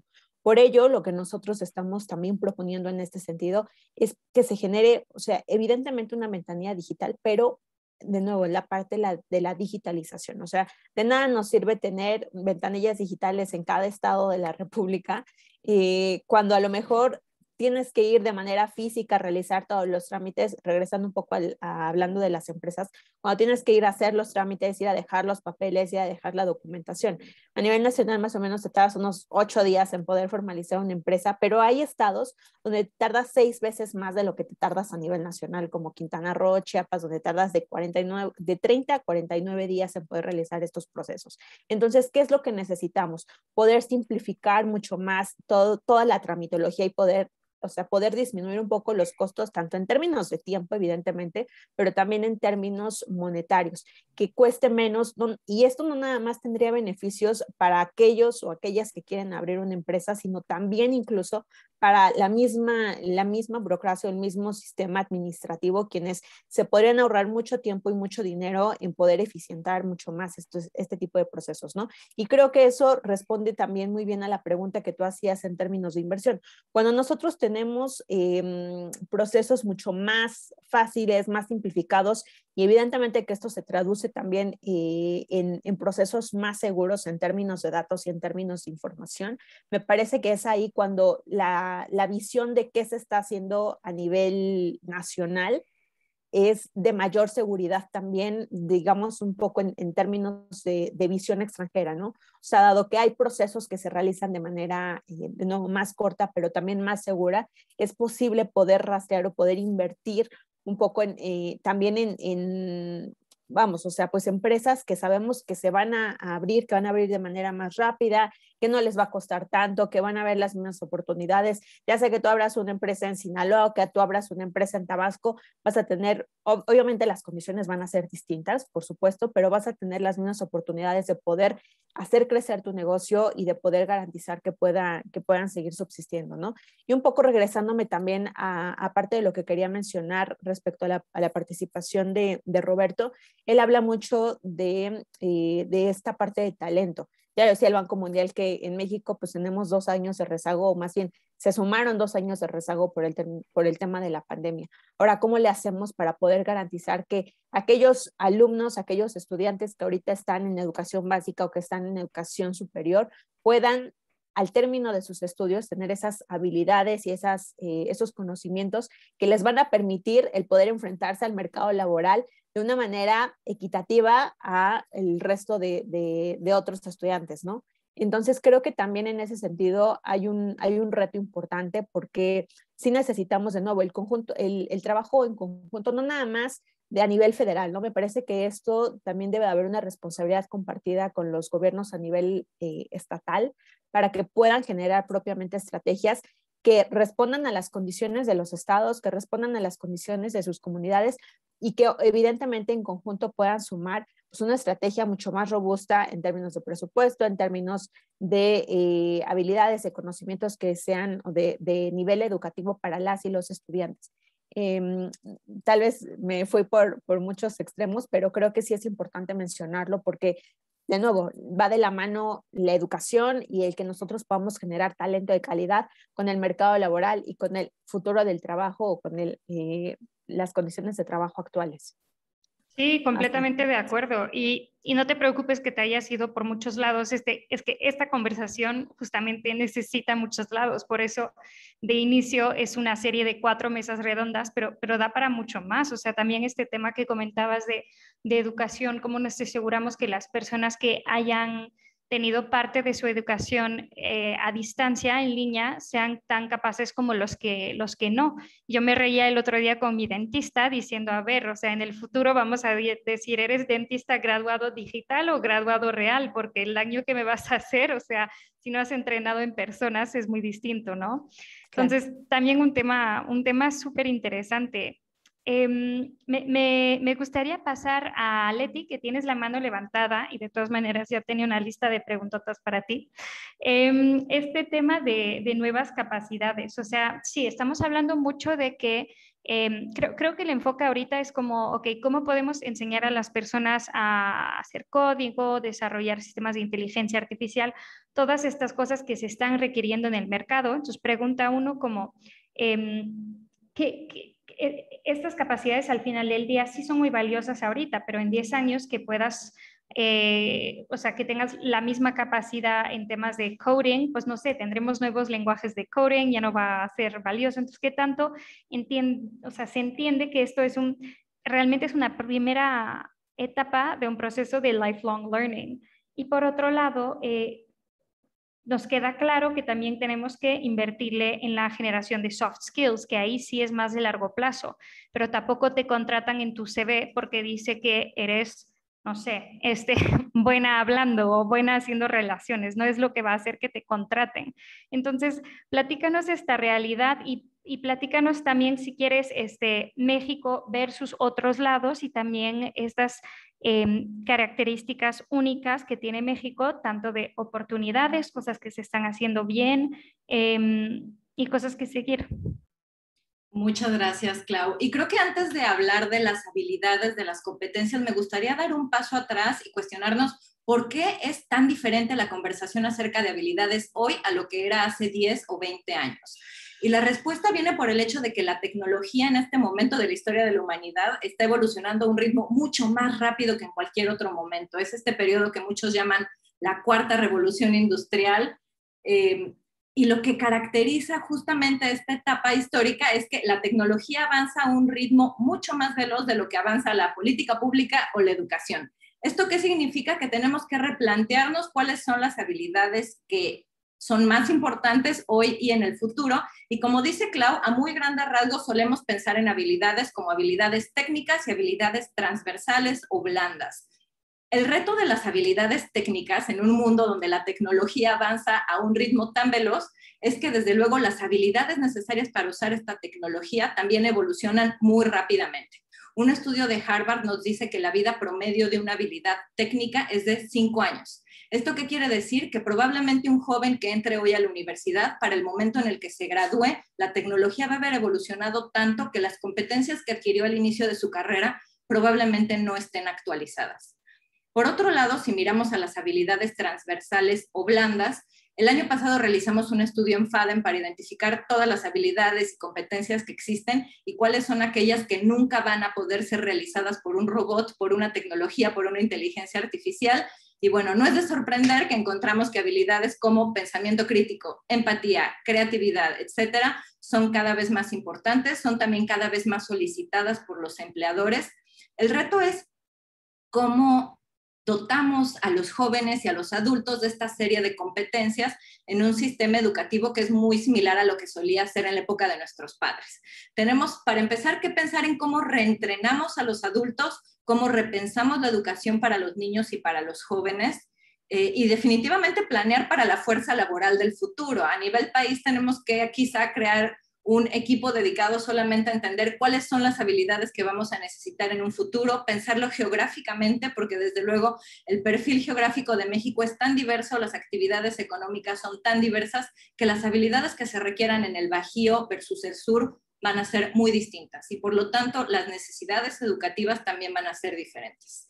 Eh, y como mencionaba Claudia, la clave está en lo que en inglés se llama el lifelong learning, la educación de por vida. Ese es el futuro de la educación, estar continuamente preparándonos. Y creo que ese es uno de los aprendizajes que tomo de otros países que sería interesante explorar para México, cómo creamos un sistema educativo en el cual personas de todas las edades tengan la posibilidad de hacer una pausa laboral para reentrenarse o compaginar la vida laboral con la vida educativa para asegurarnos de que siempre todos y todas, sobre todo los más vulnerables, puedan tener las competencias que garanticen un empleo digno.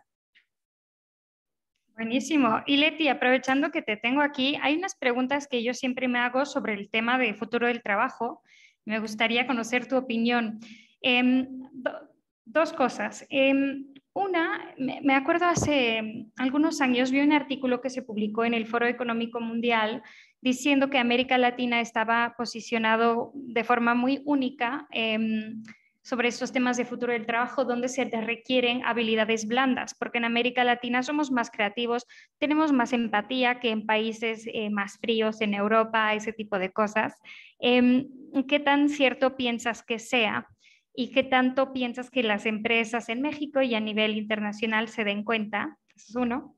Y dos, em, creo que de forma general hay conciencia que viene un cambio, ¿no? Estamos hablando de pérdidas del trabajo, las noticias les encantan decir que los robots te van a robar tu trabajo, aunque no sea realmente así. ¿Qué tanto has visto que la conversación se ha movido de un punto de, oye, te van a robar tu trabajo a, sí, pero mira, puedes hacer esto. Porque algo que, me frustra mucho, y creo que todos aquí probablemente también, es que las noticias te plantean esto como si fuera una, fuera una realidad em, con la que tú no tienes herramientas para cambiarla o hacer que puedas conseguir otros trabajos. Como te van a quitar tu trabajo, punto. Otro, no, no a nadie habló de tener otro. Entonces, si, si puedes darme tu perspectiva sobre esas dos cosas, me encantaría. Con mucho gusto, Clau. Eh, bueno, empezando por el punto de que en América Latina tenemos, digamos, eh, una población particularmente dotada de habilidades transversales como la empatía, creo que es absolutamente cierto. Sin embargo, el reto es que para capturar el valor que se genera por tener estas competencias transversales, necesitamos tener la tecnología. Y voy a poner un ejemplo. En aquellos países de América Latina donde hay una transformación digital más sólida y más acceso a Internet, se han logrado tener, por ejemplo, empresas que ofrecen servicio al cliente desde América Latina para cualquier lugar del mundo. Y esto es algo que solo es factible si tienes banda ancha, una buena conexión a Internet y gente que sabe usar la computadora. Eh, es decir, las habilidades están ahí. Para detonar su potencial y capturar el valor, necesitamos también la parte de transformación digital con la cual arrancamos esta conversación. Y pasando al segundo punto, el miedo a la automatización tecnológica. Esta es parte de mis conversaciones de todos los días eh, y afortunadamente puedo contar historias donde para empezar, vemos que la automatización no es que sustituya enteramente a un trabajo, sino que lo que se automatiza son tareas muy puntuales que realizan las personas. Es decir, siempre vamos a necesitar humanos, más bien algunas tareas monótonas y repetitivas van a ser automatizadas.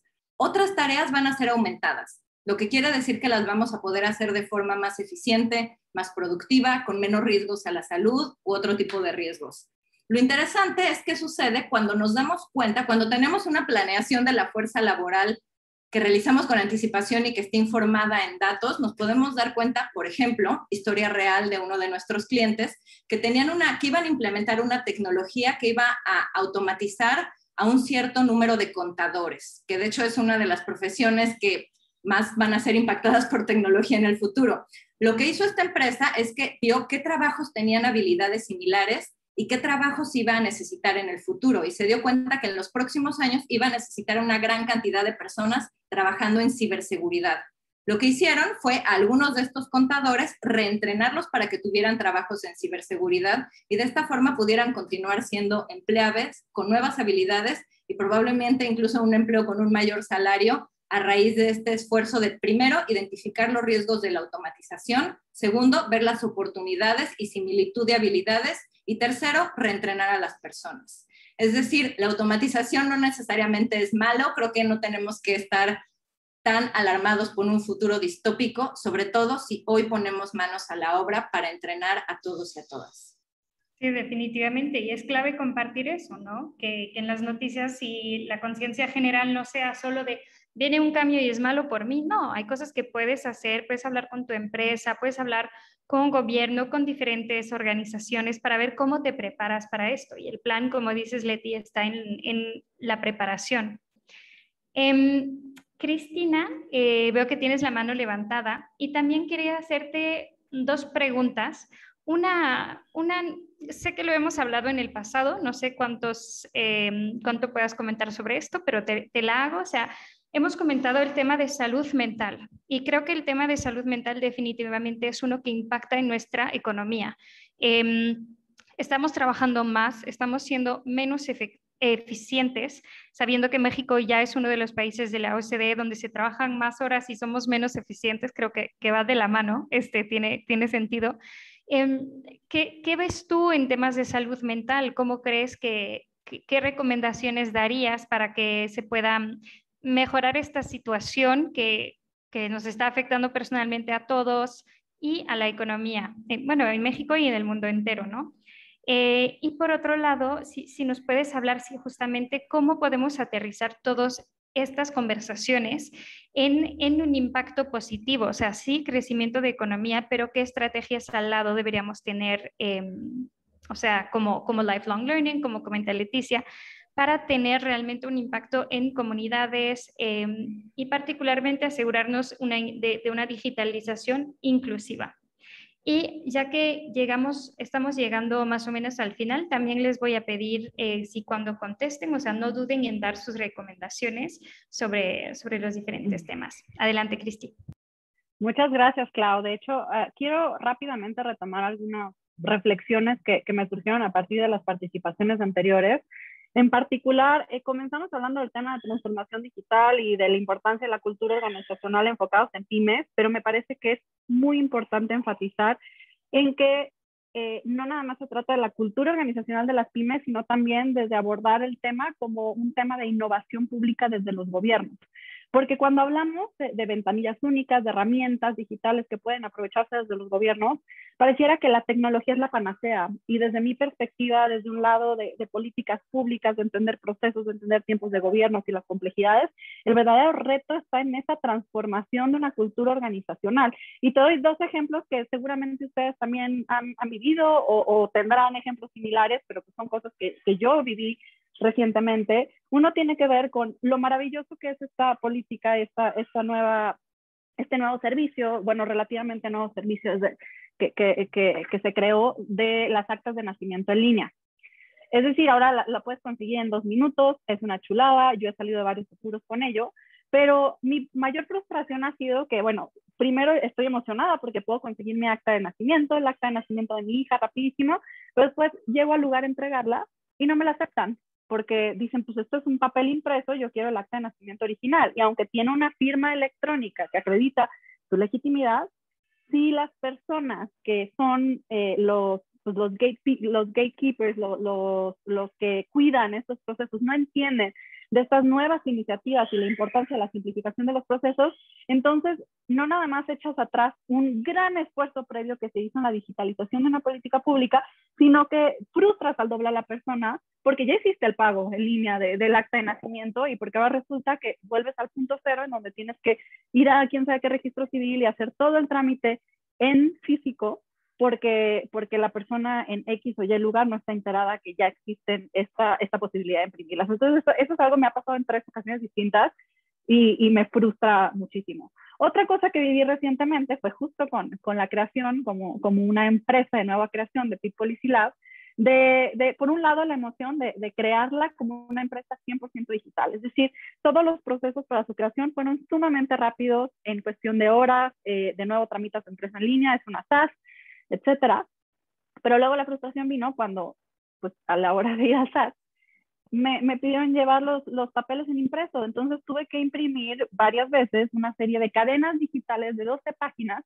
Entonces son como estas desconexiones que dices, ¿cómo es posible que una empresa que nace en lo digital, para concluir una firma electrónica, tengo que llevar todo una cadena digital impresa en 12 páginas? Entonces, es como esta desconexión entre procesos que no, no es la culpa de las, de, las personas que, que, que, servidoras públicas están cumpliendo con los procesos y se están además respaldando porque luego pueden tener sanciones administrativas por no tener el respaldo documental pero creo que es un área de oportunidad enorme para que cuando hablamos de la simplificación, pues se hable, sí, del uso de herramientas digitales, pero por otro lado también de la comunicación y de la transformación en la innovación pública desde esta concepción. Eso por un lado. Y por el otro, quería regresar a, a uno de los puntos que, en los que Roberto hizo énfasis, que tiene que ver con las políticas públicas y que incluso tiene que ver con el preámbulo que se hacía desde CIMAIN eh, respecto al reporte de velocistas digitales, que creo que vale la pena que, lo, que le echen un ojo porque tiene información específica para México en donde nos habla sobre el potencial impacto que pueden tener eh, eh, las políticas públicas para acelerar el, el desarrollo económico. en, en, materia, sobre todo relacionada con un aprovechamiento de las tecnologías digitales. se habla de 316 mil billones de dólares hacia 2030, eh, se habla de ocho grupos de tecnologías aplicadas en torno a 12 recomendaciones de política pública. Y esto es importantísimo porque está, aunque está aterrizada de manera general, de manera nacional, algo que estamos haciendo desde Pit Policy Lab es desarrollar una metodología para poder bajar esta información nacional a estados, de nuevo en línea en este tema de las estrategias subnacionales, que es importantísimo poder trabajar a nivel ciudad a nivel municipio, a nivel estado, en poder entender, eh, en poder entender eh, mejor cuáles son las vocaciones estatales. Entonces, en línea con las vocaciones estatales, y qué tecnologías y a través de qué políticas públicas del tipo de, y les doy algunos ejemplos, eh, se habla de infraestructura pública existente para acceso digital, tema de conectividad, pero se habla también de, de cómo desde lo público se puede impulsar eh, el desarrollo de datos abiertos para crear negocios eh, integrales, el tema de los estándares en tecnología, se habla de plataformas de crowdsourcing, se habla del desarrollo de centros de transformación digital y bueno, algunos otros ejemplos que, que vale la pena echar un ojo. Ahora, con relación al tema de la cadena de suministros, eh, El año pasado, desde C-Minds, hicimos un ejercicio bien interesante con la región Borderplex y hay un reporte de C-Minds que, les invito también a, echarle un ojo, porque se hizo un análisis de estas tres ciudades que conforman la región, que es Ciudad eh, Juárez en, en, México y El Paso y Las Cruces en Estados Unidos. Eh, había, de nuevo, este, este, fue un reporte comisionado por Microsoft, pero en general había un común denominador de parte de los gobiernos, que era este temor a la automatización cuando es una región altamente pues, dependiente de, la manufactura. Sin embargo, en, en, los hallazgos, en este tema de cadenas de suministros, algo, algo muy valioso que encontramos fue el alto nivel de sofisticación que tiene la mano de obra en la región y cómo hay un enfoque muy puntual en, en, el tema de salud. Entonces hay una oportunidad muy, muy, muy cerca, muy tangible para la región en posicionarse como un hub de salud altamente sofisticado, tecnológico, tiene las capacidades, tiene la fuerza laboral y tiene que ver más bien con el desarrollo de una estrategia regional que pueda aprovechar estas capacidades que ya se tienen y estas fortalezas que se tienen como región. Entonces, uno de los principales aprendizajes que tuvimos fue justo identificar qué otras regiones habían hecho cosas interesantes respecto a la atracción de inversiones y a partir de ahí emitir una serie de recomendaciones eh, en corto, mediano y largo plazo, empezando pues desde visibilizar estas fortalezas que tiene la región y trabajar en las áreas de oportunidad y por supuesto, como mencionaba Leticia y, otros panelistas también en el tema del desarrollo de capacidades y en particular del lifelong learning, del aprendizaje de por vida, del reskilling, upskilling, de la necesidad de fortalecer las, la caja de herramientas que tienen las personas y cómo poderlas vincular y trasladar hacia otras iniciativas para que puedan eh, continuar aumentando su valor desde, desde, lo profesional y su formación personal y profesional y trasladarse a otros espacios. Pero sobre todo entendiendo que, de nuevo, la automatización no implica, eh, o sea, no, no, no, no, no va ligada en automático hacia una pérdida de empleo, sino más bien es una apuesta hacia la cobotización, que es este trabajo aumentado de la colaboración humano-máquina. Entonces, me parece que, eh, bueno, resumiendo, hay un valor y, sobre todo respondiendo a tu segunda pregunta, Clau, que, que decías, bueno, ¿cómo podemos traducir esta conversación en un impacto positivo? Me parece que hay un rol central que tienen las políticas públicas y los tomadores de decisión en crear estos espacios de diálogo para entender cómo eh, entendemos contextos específicos y cómo respondemos a ello eh, desde las distintas perspectivas y desde las distintas especialidades de, de los sectores, es decir, academia, sociedad civil, eh, think tanks, eh, gobiernos y demás, pero también desde las distintas disciplinas. Entonces, no nada más se trata de, de cómo trabajamos en sí los desarrolladores de tecnología o hacedores de política pública, sino cómo podemos sentar a la mesa a distintas profesiones a dialogar respecto a cómo resolvemos retos públicos creo que esta es la manera, bueno, lo hemos visto pues a través de iniciativas, a mí pues me parece que el esfuerzo de, de FERLA con el tema de inteligencia artificial, con el tema de, de ética, de marcos de referencia, es, es sumamente relevante. Eh, porque está contextualizado en esta región, porque el primer hub surge en Jalisco, porque se habla de una colaboración multisectorial, o sea, porque, porque si lo vemos metodológicamente nos da muchas herramientas sobre el futuro de las colaboraciones.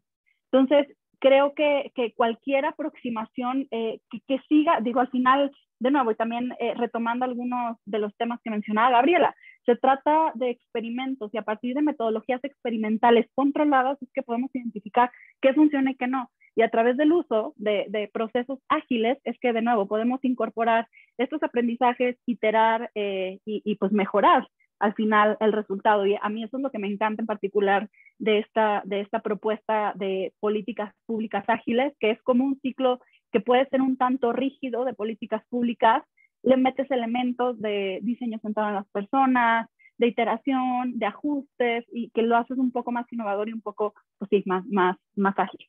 Entonces, creo que, creo que hacia adelante eh, la, la, la, clave está en en justo en, articular este tipo de colaboraciones y en sentar a distintos actores en la mesa y en, de nuevo, en las agendas nacionales, pero solamente como una guía que después nos permiten aterrizar acciones muy específicas y experimentos que, que, después se traducen en impacto específico y en ejemplos muy, muy concretos y no se quedan tanto en estos grandes planes a años que, que podrían las personas no necesariamente ver relacionados con sus vidas. Muchas gracias, Cristi. Súper completo. Este, bueno, pues ya, ya vamos llegando al, al, cierre. Me gustaría una última intervención muy corta de, de José Ramón, eh, que creo que el, tú, tú, comentabas este tema de la importancia de las colaboraciones eh, para un uso de la tecnología correcto o ético, responsable, como lo queramos ver. Eh, colaboraciones para retos públicos, ¿no? Como hablábamos de, de la importancia de, de, no terminar como Detroit, eh, cómo me, y comentaste que, que, justamente tenías un poco más que decir al respecto. Entonces me gustaría darte unos minutitos para comentar eso antes de pasar por una ronda de un minuto cada uno de, de cualquier recomendación que quieran subrayar. Eh, adelante, bueno, José Ramón. Sí, básicamente lo que me refería es a un esfuerzo que estamos haciendo desde el Mecanismo de Facilitación Tecnológica de Naciones Unidas para incluir a más eh, stakeholders, a más gente interesada eh, porque eh, esta es la década de acción, tenemos que llegar a 2030 supuestamente, por lo menos con algunos de los objetivos de desarrollo sostenible logrados y necesitamos a gente que apoye estos esfuerzos en todos los sectores público, privado, académico, social. Y este es un esfuerzo que estamos eh, eh, lanzando desde allá. Obviamente el tema específico de la digitalización es parte de ello porque nosotros comprendemos a la totalidad de las, de las tecnologías y del avance tecnológico. De hecho, México, yo, yo, yo estuve apoyando esto, México fue eh, el, que llevó la batuta en introducción de dos importantes resoluciones sobre el cambio tecnológico acelerado y eh, el, impacto sobre los objetivos de desarrollo so, sostenible. Y queremos ahora que esto se multiplique. ¿De qué manera? Necesitamos información, necesitamos análisis, necesitamos eh, distribución de la información, necesitamos actores. Eh, los actores que implican, los actores tienen que ser públicos, privados también y, y, académicos. El sector público, para referirme a México, no tiene una política pública sobre la industria, ni tampoco sobre innovación. La Banca Nacional de Desarrollo no le está impulsando. Y es una cosa fundamental.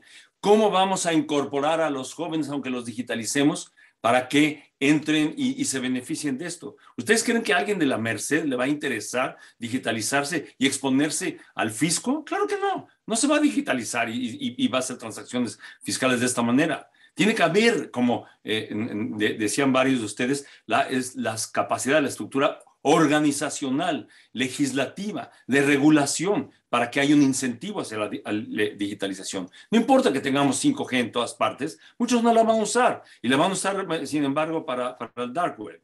En fin, lo que quiero decir es que esto es un tema mucho más complejo de lo que estamos aquí eh, tratando y tenemos que comprenderlo así. Respecto del empleo, que es a lo que yo me, me, refería, sí, efectivamente, México está expuesto a la automatización de varias de sus empresas y a la desindustrialización de, la, de las mismas. No nada más la automotriz, también la aeroespacial, también electrónica y a otras, 3D, etcétera, permitan hacer muchas de estas cosas afuera. Nosotros somos ensambladores, lo hemos sido hasta ahora de estas empresas y no recibimos el, el, el, el beneficio de la transferencia tecnológica, ni tampoco de la capacitación de alto nivel, ni de talento digital, ni tampoco de ingenieros, etcétera. Somos maquiladores, ni siquiera maquiladores, ensambladores de mucho de esto. Si ustedes ven las exportaciones y respecto a las patentes nacionales o de extranjeros, comprenderán todo.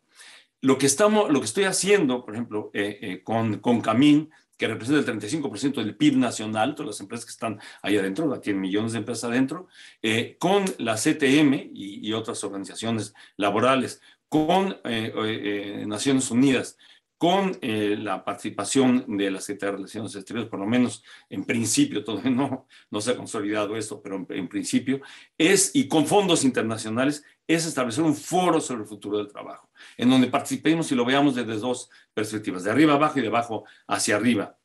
Necesitamos estos foros permanentes para saber hacia dónde vamos y qué hacer la política pública al respecto es fundamental, no, no porque lo diga yo, sino porque están los ejemplos internacionales en todas partes del mundo. ¿Cómo vamos a hacer innovación si no hay protección para quien tiene una idea en las primeras etapas? No hay prueba de concepto, no hay eh, eh, prototipado. Hay empresas de prototipado en México, pero nadie las financia. Y hay mucha gente, muchos jóvenes que están frustrados y que podrían hacer enormes aportaciones, pero no existe un ecosistema de innovación respaldado por el financiamiento y por la organización. En fin, podría seguir yo sé que ya me pasé. Eh, eh, hay toneladas que, que, decir, simplemente se los dejo para considerar para otros eventos. Bye. Gracias, José Ramón. Sí, y creo que ahí justo tocaste un tema que faltaba en la conversación, ¿no? Este tema de digitalización, pero no por dado, o sea, también es una pregunta, ¿quién quiere digitalizarse, quién no? ¿Y qué incentivos falta para que todos, todos vayan para ahí? Y sí, efectivamente era, era un punto faltante, entonces muchas gracias. En estos últimos minutos me gustaría darle la, la palabra a Jonathan y a Gabriela Em, por si tienen alguna última recomendación que compartir en, cortos minutitos. Gracias, Claudia. Eh, brevísimo. Eh, creo que, por lo menos en lo personal, me llevo conclusiones eh, muy importantes. Desde luego, profesionalización, ¿no? interoperabilidad de los sistemas. Tomamos decisiones digitales para digamos, beneficiar empresas, industria, personas en concreto, pero si transversalmente se siguen tomando, eh, digamos, partes del proceso de manera física, de poco sirve, lo, lo decía con mucha claridad, creo yo, Cristina, y en ejemplos muy concretos. Entonces, que sea interoperable esto, que sea compatible, que la decisión esté alineada a los tres niveles de gobierno, que las personas que toman las decisiones respecto a estos servicios estén capacitadas adecuadamente, tomar eh, soluciones a, problemas de manera multidisciplinaria. No podemos hablar de, de, proteger datos personales, por ejemplo, y dejarlo en las manos de abogados o de economistas nada más, o de científicos de datos o de ingenieros. Todos tienen que aportar a la solución, que creo que es algo que es muy valioso en esta y otras mesas que ha coorganizado C-Minds. Y básicamente, en materia de datos personales, entender que es un tema global. Y como es un tema global, no entiende fronteras. ¿Qué necesitas para que haya un libre flujo de datos personales y que no implique requisitos adicionales y para incentivar la economía? Un estándar global, convergencia normativa.